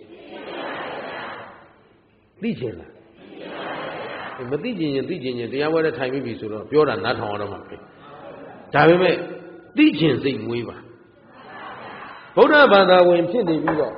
အညတရတံမေညဗုဒ္ဓဘာသာဖြစ်နေလမ်းမဆုံးပါစေနဲ့ဖရာရဲ့သားတော်သမီးတော်အစ်စ်ဖြစ်အောင်ကြိုးစားဖို့လိုအပ်မလိုအပ် ဖရာဖြေတော့ပဲဒီစကားကိုသစ္စကပရပိုက်ဟာတို့ကျေးဇူးရှင်သူကသူဘလောက်ဆိုးဆိုးသစ္စကပရပိုက်ကြီးကရာဇဝင်ရဆိုရင်တော့တို့ဒီသာသနာမှာပဲကျွတ်တန်းဝင်သွားပြီလို့ဆိုပါတယ်ဒါတွေကတော့သိကြတာတွေမဟုတ်တော့တို့လည်းမပြောဘူးပေါ့ကွာနော်အဲ့တော့မှတ်ထားပါသစ္စကပရပိုက်ကြီးဒီသာသနာမှာကျွတ်မှမို့လို့လည်းဘုရားကသွားချွတ်တယ်မဟုတ်ရင်ချွတ်ပါမလားသူတာဝကမျက်မှောက်တာဝကတော့မဟုတ်ဘူးမျက်မှောက်မှာချွတ်မသွားဘူးအဲ့တော့သစ္စကပရပိုက်ကြီးကမေးပေးတဲ့မေးခွန်းသိကောင်း ဘယ်လိုအစဉ်တန်းရှိမှအရှင်ဖျားရဲ့တပည့်သားတာဝကအစ်စ်ဖြစ်မလဲသားတော်အစ်စ်ဖြစ်မလဲအခုသူတော်ကောင်းတို့ဦးဇင်းတို့ကဘုရားရဲ့သားတော်သမီးတော်ဖြစ်ခံယူရတာမလားအဲ့တော့သားတော်သမီးတော်အစ်စ်ဖြစ်ဖို့လိုအပ်မလိုအပ်သစ္စကမှတ်ထားငါဘုရားရဲ့သားတော်သမီးတော်အစ်စ်ဖြစ်ဖို့ဆိုရင်တဲ့ဟောဒီခန္ဓာ၅ပါးအပေါ်မှာဟောလာပြန်ပြီဒီခန္ဓာနဲ့ပဲလားခန္ဓာဘယ်နှပါးကျွမ်းတို့ကျွတ်တို့မှာရှိနေတာခန္ဓာဘယ်နှပါး ဒီခန္ဓာ၅ပါးအပေါ်မှာငါကိုငါဟာငါဥစ္စာမဟုတ်ဘူးလို့အမြင်မှန်ရှိတဲ့ပုဂ္ဂိုလ်ငါဖရာရဲ့တပည့်သားတာဝကအစ်စ်ပဲကွာဒါသောတာပန်ပုဂ္ဂိုလ်ကိုပြောတာရှင်းလားသက်ကာယဒိဋ္ဌိပြုတ်သွားဘာပြုတ်သွားလဲခန္ဓာ၅ပါးကသက်ကာယငါလို့ယူဆထားတာက ငါမဟုတ်ဘူးဆိုတာဖြုတ်လိုက်တာနဲ့ဘာပြုတ်သွားဒိဋ္ဌိပြုတ်သွားနော်ဘုရားကျတို့ကသက်ကာယဖြုတ်ရမလားဒိဋ္ဌိဖြုတ်ရဒါလည်းမှတ်ထားအောင်တချို့ကသက်ကာယလမ်းဖြုတ်နေတဲ့လူတွေရှိသေးတာနော်ခန္ဓာကိုယ်ကြီးပင်ပန်းနွားနေအောင်လုပ်ပြီးတော့တခါတည်းကျင့်ကြတာလေအဲ့တော့ပင်ပန်းတိုင်းဒိဋ္ဌိပြုတ်သလားအဲအဲ့တော့ဒိဋ္ဌိဆိုတာဘာနဲ့ပြောဉာဏ်နဲ့မှပြုတ်မှာဆိုတော့ရုပ်ရူပခန္ဓာသည်ဖောက်ပြန်တတ်တဲ့သဘောကလွယ်ပြီးငါးပိုင်းငါးဆိုင်ရှိတာ ဖြစ်ပြီးတော့အဲ့တော့သက်ကာယဒိဋ္ဌိပြုတ်လိုက်ပြီဆိုတာနဲ့ဒီငါဖရာရဲ့တပည့်သားသာဝကတွေဟာဖရာပေါ်မှာလည်းတန်တရားမရှိတော့တရားပေါ်မှာလည်းတန်တရားမရှိတော့တန်ခါပေါ်မှာလည်းဖရာတရားတန်ခါမှတပါးကိုးကွယ်ရာမရှာတော့တာငါသားတော်သမီးတော်အစ်စ်กว่าရှင်းလားသဘောပေါက်လားဟာအရေးကြုံလားဘေးတင်သွားမေးဦးမနော်ဘိုးတော်သွားရှာအောင်မ နတ်ကတော်သွားရှာအောင်မကဲတင်ရှင်သွားရှာအောင်မဟိုစိတ်ကူတတ်တဲ့သီလရှင်ကြီးသွားရှာအောင်မဟုတ်ကလားသီလရှင်တွေလည်းအမြထထလုပ်တယ်တခါတည်းကြသူတို့စွမ်းတယ်သိလားနော်စိတ်ကူတတ်တဲ့ဘုန်းကြီးသွားရှာအောင်မအဲ့ဒါတွေကလမ်းမှန်တရားဟုတ်ရလားအာကိုအမှန်ဟုတ်ရလားခင်ဗျားတို့အတွက်အာကိုရအမှန်ကဘာလဲတရားယရဏ ရှင်းသလားတကယ်လောကဓာတ်ကိုရင်ဆိုင်တော့ဗာနဲ့ရင်ဆိုင်ကြကိုရဲ့သီလမလီမလီမလီမလီတရားပွဲနှစ်ရက်ပဲရှိသေးမိတ်နေပြီသီလကိုရဲ့သီလကိုရဲ့သမာဓိကိုရဲ့ပညာဟုတ်ကဲ့လားလောကဓာတ်ကိုရင်ဆိုင်ရမှာသီလသမာဓိပညာရှင်းတတ်ကြလားသဘောပေါက်ရဲ့လားအဲ့သီလသမာဓိပညာခိုင်လုံဖို့ဆိုတာဗာဒိဋ္ဌိပြုတ်မှာ သက္ကာယဒိဋ္ဌိမပြုတ်မချင်းဘုရားရဲ့သားတော်သမီးတော်အစစ်မဖြစ်သေးဘူးမှတ်ထားရှင်းသလားအဲ့ဒီသက္ကာယဒိဋ္ဌိလက်အောက်ကလွတ်မြောက်တဲ့ပုဂ္ဂိုလ်ဟာငါဘုရားရဲ့သားတော်အစစ်ပဲတဲ့တပည့်သားဝတာဝကအစစ်ဖြစ်ပြီကွာသစ္စကဆိုတော့မှအရှင်ဘုရားတဲ့အရှင်ဘုရားတပည့်သားသာဝကအစစ်တရားကောင်းပါပြီတဲ့သက္ကာယဒိဋ္ဌိပြုတ်ဘုရားတရားတန်ခါမှဓမ္မကိုးကွယ်ရမရှိဆိုတဲ့ပုံကိုယ်တွေဟာ ဘယ်အချိန်ဘယ်ကာလကြာရင်လွတ်မြောက်မှာလဲဘုရားမေးဒါလည်းဒီတန္တရာဘေးဒုက္ခခန္ဓာ၅ပါးဒုက္ခသစ္စာကြီးရနေဘယ်ချိန်ဘယ်ကာလကြာရင်လွတ်မြောက်မှာလဲဒါအရဟတကူမေးတာမအောင်မေးတာအဲမက်ဖို့နိဗ္ဗာန်ကိုပြိဋိနိဗ္ဗာန်စံတဲ့အချိန်ထိသူကမေးတာပေါ်ပေါ်ပမနဲ့နော် ပထမဗုဒ္ဓဘာသာအစ်စ်ဖြစ်ဖို့မမေးဘူးလားဘုရားရဲ့သားတော်သမီးတော်အစ်စ်ဖြစ်ဖို့ဆိုဗာဒိတိပြုံးမှဒါကဒါလေးမှဒါလေးမှဒါကိုကျေးဇူးရှင်ဘုန်းဘုဆရာတော်ဘုရားကြီးကဒါနသီလဘာဝနာနောက်ထပ်ဒိဋ္ဌိအရင်ဖြုတ်တာပြောတာကျင်ရသလားဘာလို့ပြောလဲဆိုဒါပြုတ်ပြီးမှခင်ဗျားတို့လုံသမျှအလုပ်တွေကမှန်ကန်တဲ့အလုပ်တွေဖြစ်မှာရှင်းသလားကောင်းပြီနောက်ထပ်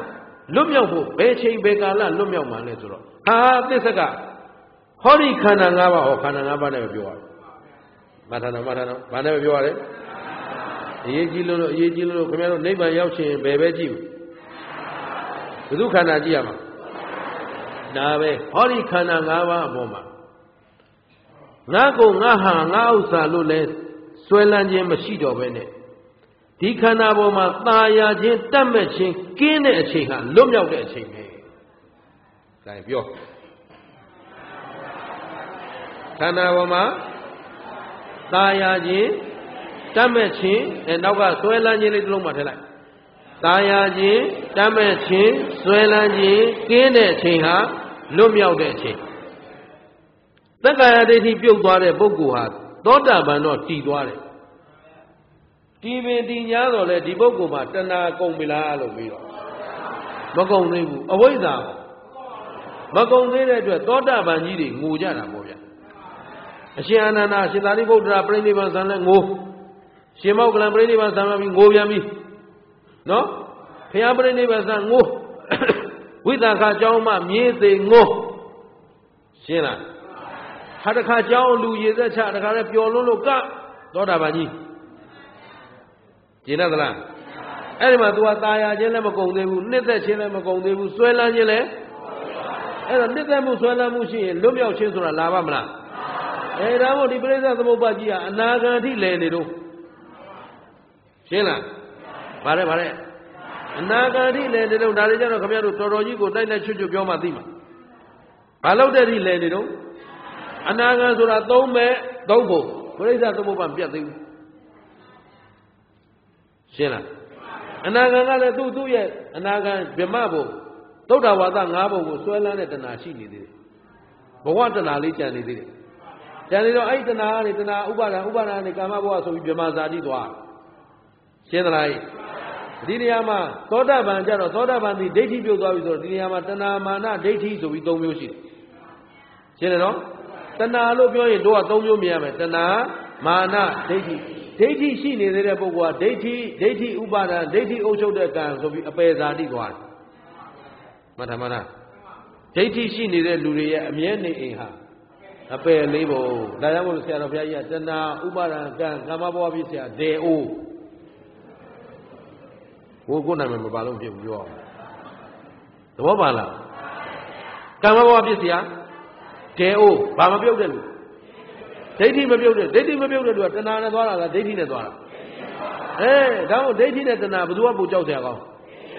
ဒိဋ္ဌိခင်ဗျားတို့ငရဲချနေတာဒိဋ္ဌိဒိဋ္ဌိတစ်လုံးခွာလိုက်တဲ့ဟိုဘက်ပူကြမလို့ဘူး ရှင်းလားဒါကိုကျေးဇူးရှင်မိုးကုတ်ဆရာတော်ကြီးကပျော်ခြင်းရောက်မှပျော်ကြပါဒိဋ္ဌိမပြုတ်သေးပဲနဲ့မင်းတို့ပျော်ခြင်းမြောက်သေးဘူးတဲ့အပေတကားပိတ်ပလားရှင်းလားသလားဒါဖြင့်အရေးပေါ်အပေတကားပိတ်ဖို့ကြိုးစားဖို့လိုအပ်မလို့ပါအဲ့တော့ဒီမှာဝေဒနာပစ္စယတဏှာလာတယ်ဝေဒနာပစ္စယမာနလာတယ်ဝေဒနာပစ္စယဒိဋ္ဌိလာတယ်ဒိဋ္ဌိလာရင်ဒိဋ္ဌိဒိဋ္ဌုပါဒဒိဋ္ဌိအုပ်ချုပ်တဲ့ကံခင်ဗျားတို့ကျတို့လုံနေသမျှကာယကံဝစီကံမနောကံဘယ်သူအုပ်ချုပ်တာ ဒိဋ္ဌိအုပ်ချုပ်တာကငါပြောတာငါစားတာငါသွားတာငါကြည့်တာငါသိတာငါတတ်တာဟုတ်လားမဟုတ်ဘူးလားသဘောပါသလားအေးဒါကြောင့်မလို့အချင်းချင်းတယောက်နဲ့တယောက်ဂုံတုဂုံပြိုင်လုတ်နော်တယောက်နဲ့တယောက်ကြောင်းချပြိုင်ရင်ကြောင်းချပြီမနာလို့ဝန်တိုမရှိဘူးလားအေးဒါသတိဒါသတိဒါဒါမို့လို့ဟိုကိုရင်လေးတွေဦးစလေးစာဘွက်ဖြစ်ပြီဆိုဟေးစာဘွက်ဆိုကိုယ့်ရဲ့ချင်းကိုစစ်တာနော် ဘယ်သူနဲ့မှမလို့မဆိုင်ဘူးဘယ်သူကမှသွားပြီးတော့ကြွားဝါကြွားဝါပလောနေတယ်မလို့ဘူးဦးစင်ဦးစင်တပည့်တွေဆိုမှားတယ်စာဘွက်ကြလာလို့ဘယ်သူမှမဆူဘူးကြာမေစိတ်တော့ကြာညာများကြဲရလေကုသိုလ်ရလေပဲဘုရားစာဆိုတာများများကျက်နှစ်ခါကျက်နှစ်ခါကုသိုလ်ရတယ်သုံးနှစ်ကျက်သုံးခါကုသိုလ်ရတယ်ကျက်ကျက်တာကျက်ရှင်းလားအေးမတမာတဲ့နည်းနဲ့တော့ပြိုင်မလားနဲ့အဲ့ဒါမတမာနည်းနဲ့ပြိုင်လာရင်မတမာတဲ့စိတ်မွေးလိုက်တာလည်းမင်းရှုံးပြီးသားဖြစ်နေပြီ ရှင်းလား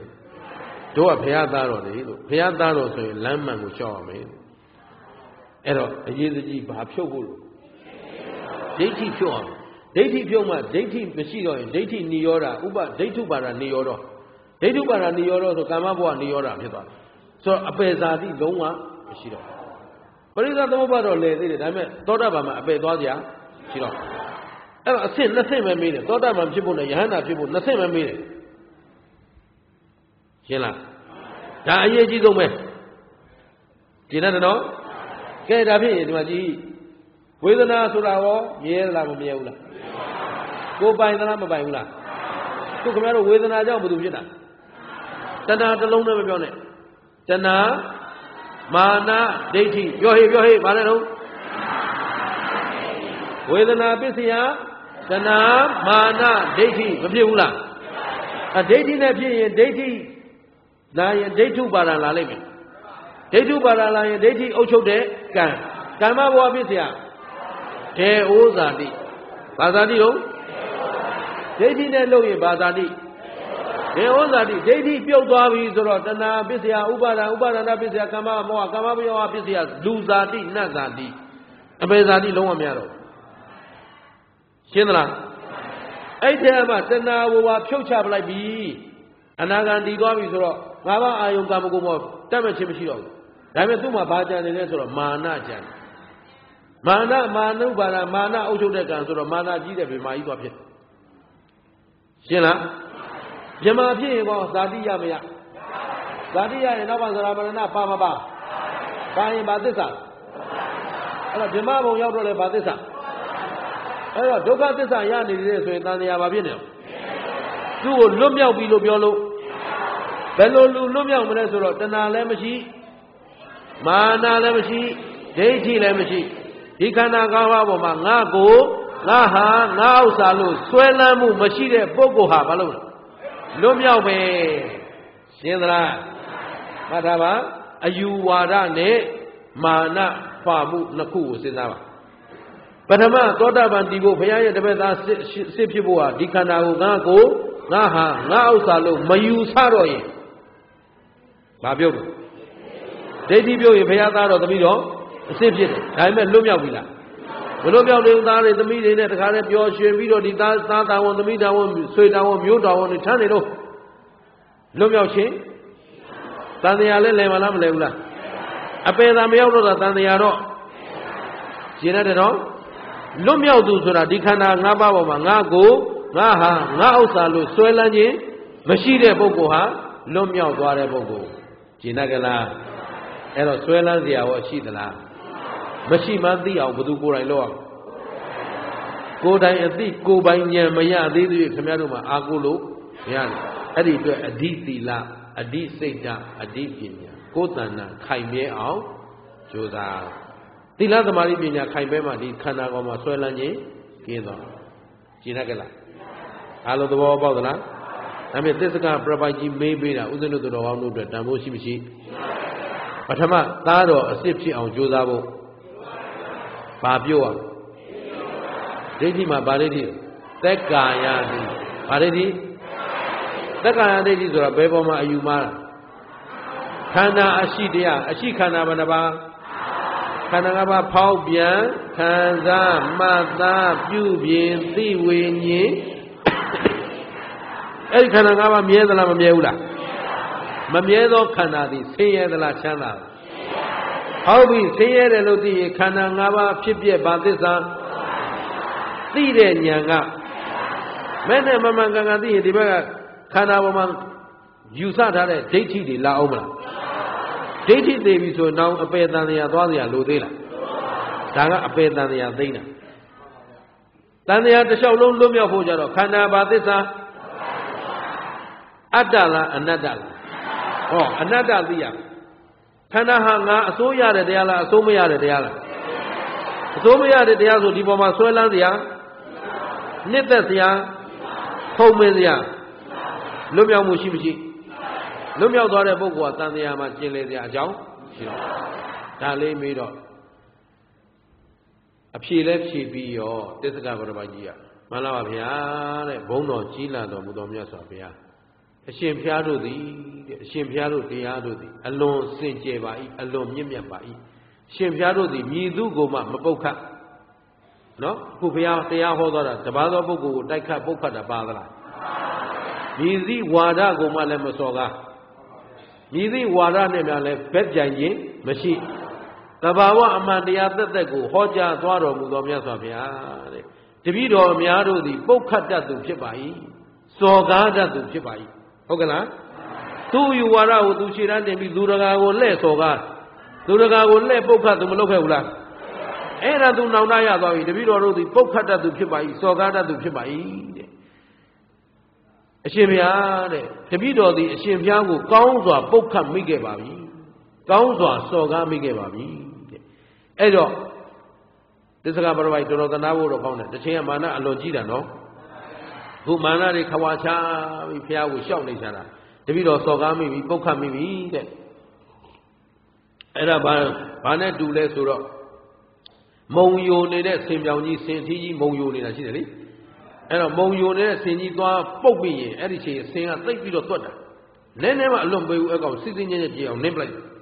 အဲ့တော့မုံခိုတဲ့မုံယိုနေတဲ့ဆင်ကိုသွားပုတ်ခတ်သူကမှလွတ်ကောင်းလွတ်အောင်ပဲ တဲ့အခုရှင်ဖျားကိုပုတ်ကတ်မိတဲ့တပည့်တော်မှာတော့ဖြင့်အပြစ်ကမလွတ်ပါဗျာရှင်သလားအလွန်အစိတ်ပြင်းတဲ့မွေကြီးကိုသွားပြီးတော့တုတ်မိပုတ်မိခတ်မိတဲ့လူကမှလွတ်ကောင်းလွတ်ပါလေဦးမယ်ဗျာတဲ့တပည့်တော်မှာတော့လွတ်เสียအကြောင်းမရှိတော့ပါဘူးဥပမာဥပမေးရနေနဲ့ရှောက်ရှောက်ပြီးတော့အရှင်ဗျာတဲ့အစဉ်သနာခြင်းကိုအကြောင်းပြုပြီးတပည့်တော်အပြစ်အားသိခံတော်မူပါဘုရားကိုတောင်းပန် ဟုတ်ပြီနော်အဲအနာမတကသံသနာမှာယနေ့တိုင်အောင်ပြမကျุလို့ပြီးတော့ကာယကံဝစီကံမနောကအပြစ်များကိုသိခံခွင့်လွတ်တော်မူပါဗျာကြတော့ပြီးတော့မနေ့ပြန်အရှင်ဘုရားနဲ့တကွသံဃာအားလုံးတပည့်တော်ခြံတို့သွန်အာဟာရဘုံပေးရန်သုံးဆောင်တော်မူရန်ပင့်လျှောက်ပါသည်ဗျာသွန်သားကြွတော်မူပါဆိုပြီးတော့ဘုရားရှင်ကိုလိုမြတ်ကြီးကိုသွန်သားပင့်ဟုတ်ပြီနော် ပင့်လဲပြီးရောဘာလို့လို့ဆိုသစ္စကပရပိုက်ဆိုတာ तू ကပရပိုက်ကြီးလုံနေတာသူများလူတာစားတာသူစီဘာမှရှိတာမဟုတ်ဘူးနဲ့အဲ့တော့ तू ဘာနဲ့သုံးကပ်မလဲကတ်ဆရာမရှိဘူးအဲ့တော့ तू ဘာလုပ်ရလဲဆိုတော့လက်ဆူမင်းနေဟေးလက်ဆူမင်းနေလက်ပြန်ကြရင်ဘုရားနဲ့တကွအမှုရှိတဲ့သံဃာတွေအားလုံးကိုငါသွန်သားပင့်ထားပြီးပြီဖြစ်တဲ့အတွက်မင်းတို့ဆုံးအုပ်ဖို့ကြလုပ်ပြီးသစ္စကပရပိုက်ဆုံးကတ်တော့မယ်နော်အဲ့လိုမျိုးတော့ဒိုလက်ကတ်ချင်မှဟုတ်လားဟမ်သူဟာပါလား ပါဦးဟဲ့လက်ဆွေမင်းနေတဲ့လက်ပြန်ကဆုံးကတ်မယ်တဲ့ဆုံးအုပ်ဖို့ကြတဲ့ဆိုပြီးတော့အမိတ်ပေးလိုက်တော့လက်ဆွေတွေကလည်းကောင်းပါပြီပေါ့ဝန်ခံပြီးတော့မနေ့ပြန်မနေ့ကျတော့အားလုံးတစ်ယောက်ကိုဆုံးအုပ်900စီပို့ကြတဲ့အဲ့တော့ဆုံး900စီပို့တော့တူတူပဲပြောတော့မယ်အချိန်ကလင့်နေပြီဒါမြတ်စွာဘုရားရှင်ကိုရောမြတ်ကြီးသွန်သားကြွတယ်တန်ခါပိဋကအကုန်လုံးနဲ့ခြံရံပြီးတော့သွန်သားကြွပါတယ်သွန်သားကြွပြီးတော့သွန်လဲကပ်ပြီးရောဒါလေးပြောခြင်းလို့ဒီထိဒီထိရောက်အောင်ပြောရတာဒီသုတ်တော်ကိုနော်အဲ့တော့ခုနကတော့ပြောရင်လည်းပြီးပါပြီသို့တော်လည်းပဲ ဒီနေရာလေးမှာဘုရားပြောလိုက်တာဘုရားရှင်ကိုယ်တော်မြတ်ကြီးကိုအာရတင်းတိမ်နဲ့အထိဆွန်းလုတ်ကျွေးပြီးတော့ဘုရားကလက်တော်ကိုတပိတ်ကိုကန့်လန့်ပြတ်တားပြီးတော့တပိတ်ကိုအုပ်လိုက်ပြီးတော့တော်ပြီးတန်ပြီးဆိုတော့မှသစ္စကပရမရက်ရပြီးတော့တပိတ်ပါညာဆေးပြီးတဲ့အခါလျှောက်တယ်အရှင်ဘုရားတဲ့ယနေ့ပြုအပ်သောတပည့်တော်တို့၏ဆွမ်းအာဟာရဒါနအလူကုသိုလ်၏အကျိုးသည်တဲ့လစ်ဆွေမင်းတို့ထံသို့တက်ရောက်ပါစေဗျာ မဲဟုတ်တယ်လေဘယ်သူကတ်တာလစ်ဆွေကတ်တာဟိုးကွယ်ဒါပေမဲ့ဒီဆွမ်းကပ်ဖို့ဆွမ်းပင်ခဲ့တာဘယ်သူလဲသစ္စကဗရပိုက်ဆွမ်းပင်ခဲ့တာဘယ်သူလဲဖះပြောလိုက်တာသိကောင်းမတိသေးမမြင်သေးဆွဲလန်းမှုမကုံသေးတော့တင်ဤယနေ့ဆုံးအလူသည် အလူရှင်လက်ဆွေမင်းတို့ထံသို့ရောက်စေတည်းဟုတ်ပြီနော်ဆွဲလန်းမှုကုံပြီးတော့သိပြီးတော့မြင်ပြီးတော့ငါဖရာအားယနေ့ကပ်အပ်သောဆွမ်းကုသိုလ်သည်တင့်ထံသို့ရောက်စေတည်းဟောစုပေးလိုက်ရှင်းတယ်နော်ပြန်ပြောမယ်နော် မသိသေးမမြင်သေးဆွဲလန်းမှုမကုံသေးသောတင့်အားအကြောင်းပြု၍ကတ်ကြသောလက်ဆွေမင်းတို့သည်လက်ဆွေမင်းတို့၏ဆွမ်းကုသိုလ်သည်ဘု து ထံရောက်လက်ဆွေမင်းတို့ထံရောက်စေတည်းသူတို့လူကြတာဖះကိုယီမန်းပြီးလူတာလားသစ္စကပရပိုက်ကြောက်လို့လူတာသစ္စကပရပိုက်ကြောက်လို့လူတာဆွမ်းကတန်ခါသာဒိမယီမန်းတာမဟုတ်ဘူးဟဲ့သိုးအုပ်ဖို့ဆိုလို့ပို့လာတာရှင်းလား ငကိုကကလေးကသစ္စကပရပိုက်ကိုသူတို့ယီမန်းထားတာရှိမရှိရှိတော့သစ္စကပရပိုက်ရဲ့အမိန့်တိုင်းသူတို့ပို့လိုက်ကြတော့မတိသေးမမြင်သေးမသိသေးမမြင်သေးဆွဲလန်းမှုမကုံသေးတော့သစ္စကပရပိုက်သိပြီလားမသိဘူးသူသစ္စာတရားကိုမသိဘူးရှင်းသလားသူကတရဏဂုံလည်းမတည်ဘူးနော်ဘုရားချွတ်ချွတ်လို့သာသူမာနကလေးခဏကြသွားတာပဲရှိတယ် နော်သင်လိုမာနကြီးတော်တဲ့မတိမမြင်နိုင်သောပုဂ္ဂိုလ်တယောက်အားလှူသောလက်ဆွေမင်းတို့၏ဆွန်းလိုသည်လက်ဆွေတို့ထံသို့သာရောက်စေသတည်းတဲ့သိပြီးတော့မြင်ပြီးတော့ဆွဲလန်းမှုကုန်ပြီးတော့ငါအားသင်ဤအလူသည်သဘောပါလားဒါကြောင့်လှူတဲ့အခါမှာတန်ခတ်တဒိမယီမန်းလှူပါလို့မပြောဘူးလားအေးအခုဒီဘုန်းကြီးတွေဆိုတာဒီဘုန်းကြီးတွေကိုလှူရင်ဒီဘုန်းကြီးတွေရဲ့သီလသမာဓိပညာလောက်ပဲခင်ဗျားတို့အကျိုးရမယ် ဟုတ်ပြီနော်အဲ့တော့အလူခံပုဂ္ဂိုလ်နဲ့အလူပေးပုဂ္ဂိုလ်ဟုတ်ပလားယလစ်ဆွေမင်းတို့ပို့လိုက်တာဘယ်သူစီပို့တာသစ္စကပရပိုက်စီပို့တာဘယ်သူစီပို့တာသစ္စကပရပိုက်ဆိုသစ္စကပရပိုက်ကသိတဲ့ပုဂ္ဂိုလ်လားမြင်သလားဆွဲလန်းမှုကုန်ပြီလားမသိသေးမသိသေးတော့မမြင်သေးတော့ဆွဲလန်းမှုမကုန်သေးတော့ဆိုတော့ဒီပုဂ္ဂိုလ်ဒီသီလလည်းမရှိသမာဓိလည်းမရှိပညာလည်းမရှိ သီလသမာဓိပညာမရှိတဲ့ပုဂ္ဂိုလ်လူတဲ့အလူဟာအဲ့ဒီလောက်ပဲအကျိုးပေးမှာပေါ့သစ္စကပရပိုက်သင်အားလှူတော့မသိသေးတော့သင်မသိသေးတော့သင်အားလှူခဲ့သောအလူသည်လစ်ဆွေမင်းတို့ထံတို့ရောက်စေတည်းဒါပေမဲ့သစ္စကပရပိုက်လှူတာဘယ်သူ့ကိုလှူတာလဲဘုရားကိုလှူတာဒါလေးနှစ်ခုကိုသိအောင်ခွဲပြောသွားတာသိပြီးတော့မြင်ပြီးတော့ဆွဲလန်းမှုကုန်ပြီးတော့ငါဖယားအားလှူသောသင်ဤအလူသည်သင်ထံသို့ရောက်စေတည်းရှင်းရလား လှူတာလည်းအကျိုးရှိအောင်လှူတာဖို့လိုအပ်မလိုအပ်ဆွဲလန်းမှုရှိသူတွေကိုလှူနေရင်ဆွဲလန်းနေတဲ့အကျိုးတွေပဲပေးနေရင်တန်တရားဘာဖြစ်လို့လဲနေတန်တရားလွတ်ကြောင်းအလုတ်ကိုလုံမှတန်တရားကလွတ်မှာဒီတော့တတိထားဝရိယဆိုင်ပညာနဲ့ကြည့်ဘသူကိုဘသူကြည့်မှာကိုကိုကိုကြည့်ခန္ဓာဘယ်နှပါဘယ်ချိန်ကြည့်ကြည့်ဖြစ်ပြီးရင်မြဲသလားမမြဲဘူးလားမမြဲသောခန္ဓာချမ်းသာသလားဆင်းရဲသလား ဆင်းရဲသောခန္ဓာအစိုးရလားအစိုးမရဘူးလားဒါဖြင့်သူ့အတွက်ဆွဲလန်းနေတဲ့အကြောင်းဒီမှာငါကိုငါဟာငါဥစ္စာပါသလားတဏှာဘာနာဒိဋ္ဌိတွေလာစရာလိုသေးလားခန္ဓာမှန်ရင်ပါသစ္စာသိတဲ့ဉာဏ်ကသေတာကနောက်ခန္ဓာမလာတာကသစ္စာဘယ်နှချက်ကြိုက်အေးကဲသစ္စာလေးချက်တစ်ပြိုင်တည်းကြိုက်မှသာလျှင် တန္တရာဝတ်တွင်းကလွတ်ကင်းနိုင်မှာဖြစ်တဲ့အတွက်မမေ့မလျော့မပေါ်ဆန်းသောတတိမလျှော့သောဇွဲလုံးလားလက်ကင်ထားပြီးတော့ဒီဘဝဒီခန္ဓာမစွန့်ကြခင်ကလေးမှာအဓိသီလအဓိစိတ်ဓာတ်အဓိပညာပိုင်ရှင်များအဖြစ်နဲ့ဆွဲလန်းခြင်းကုန်ပြီးတော့လွတ်မြောက်နိုင်အောင်ကြိုးစားကြပါစို့လို့တိုက်တွန်းရင်းနဲ့ဒီညဒီညနဲ့ပဲနားကြစို့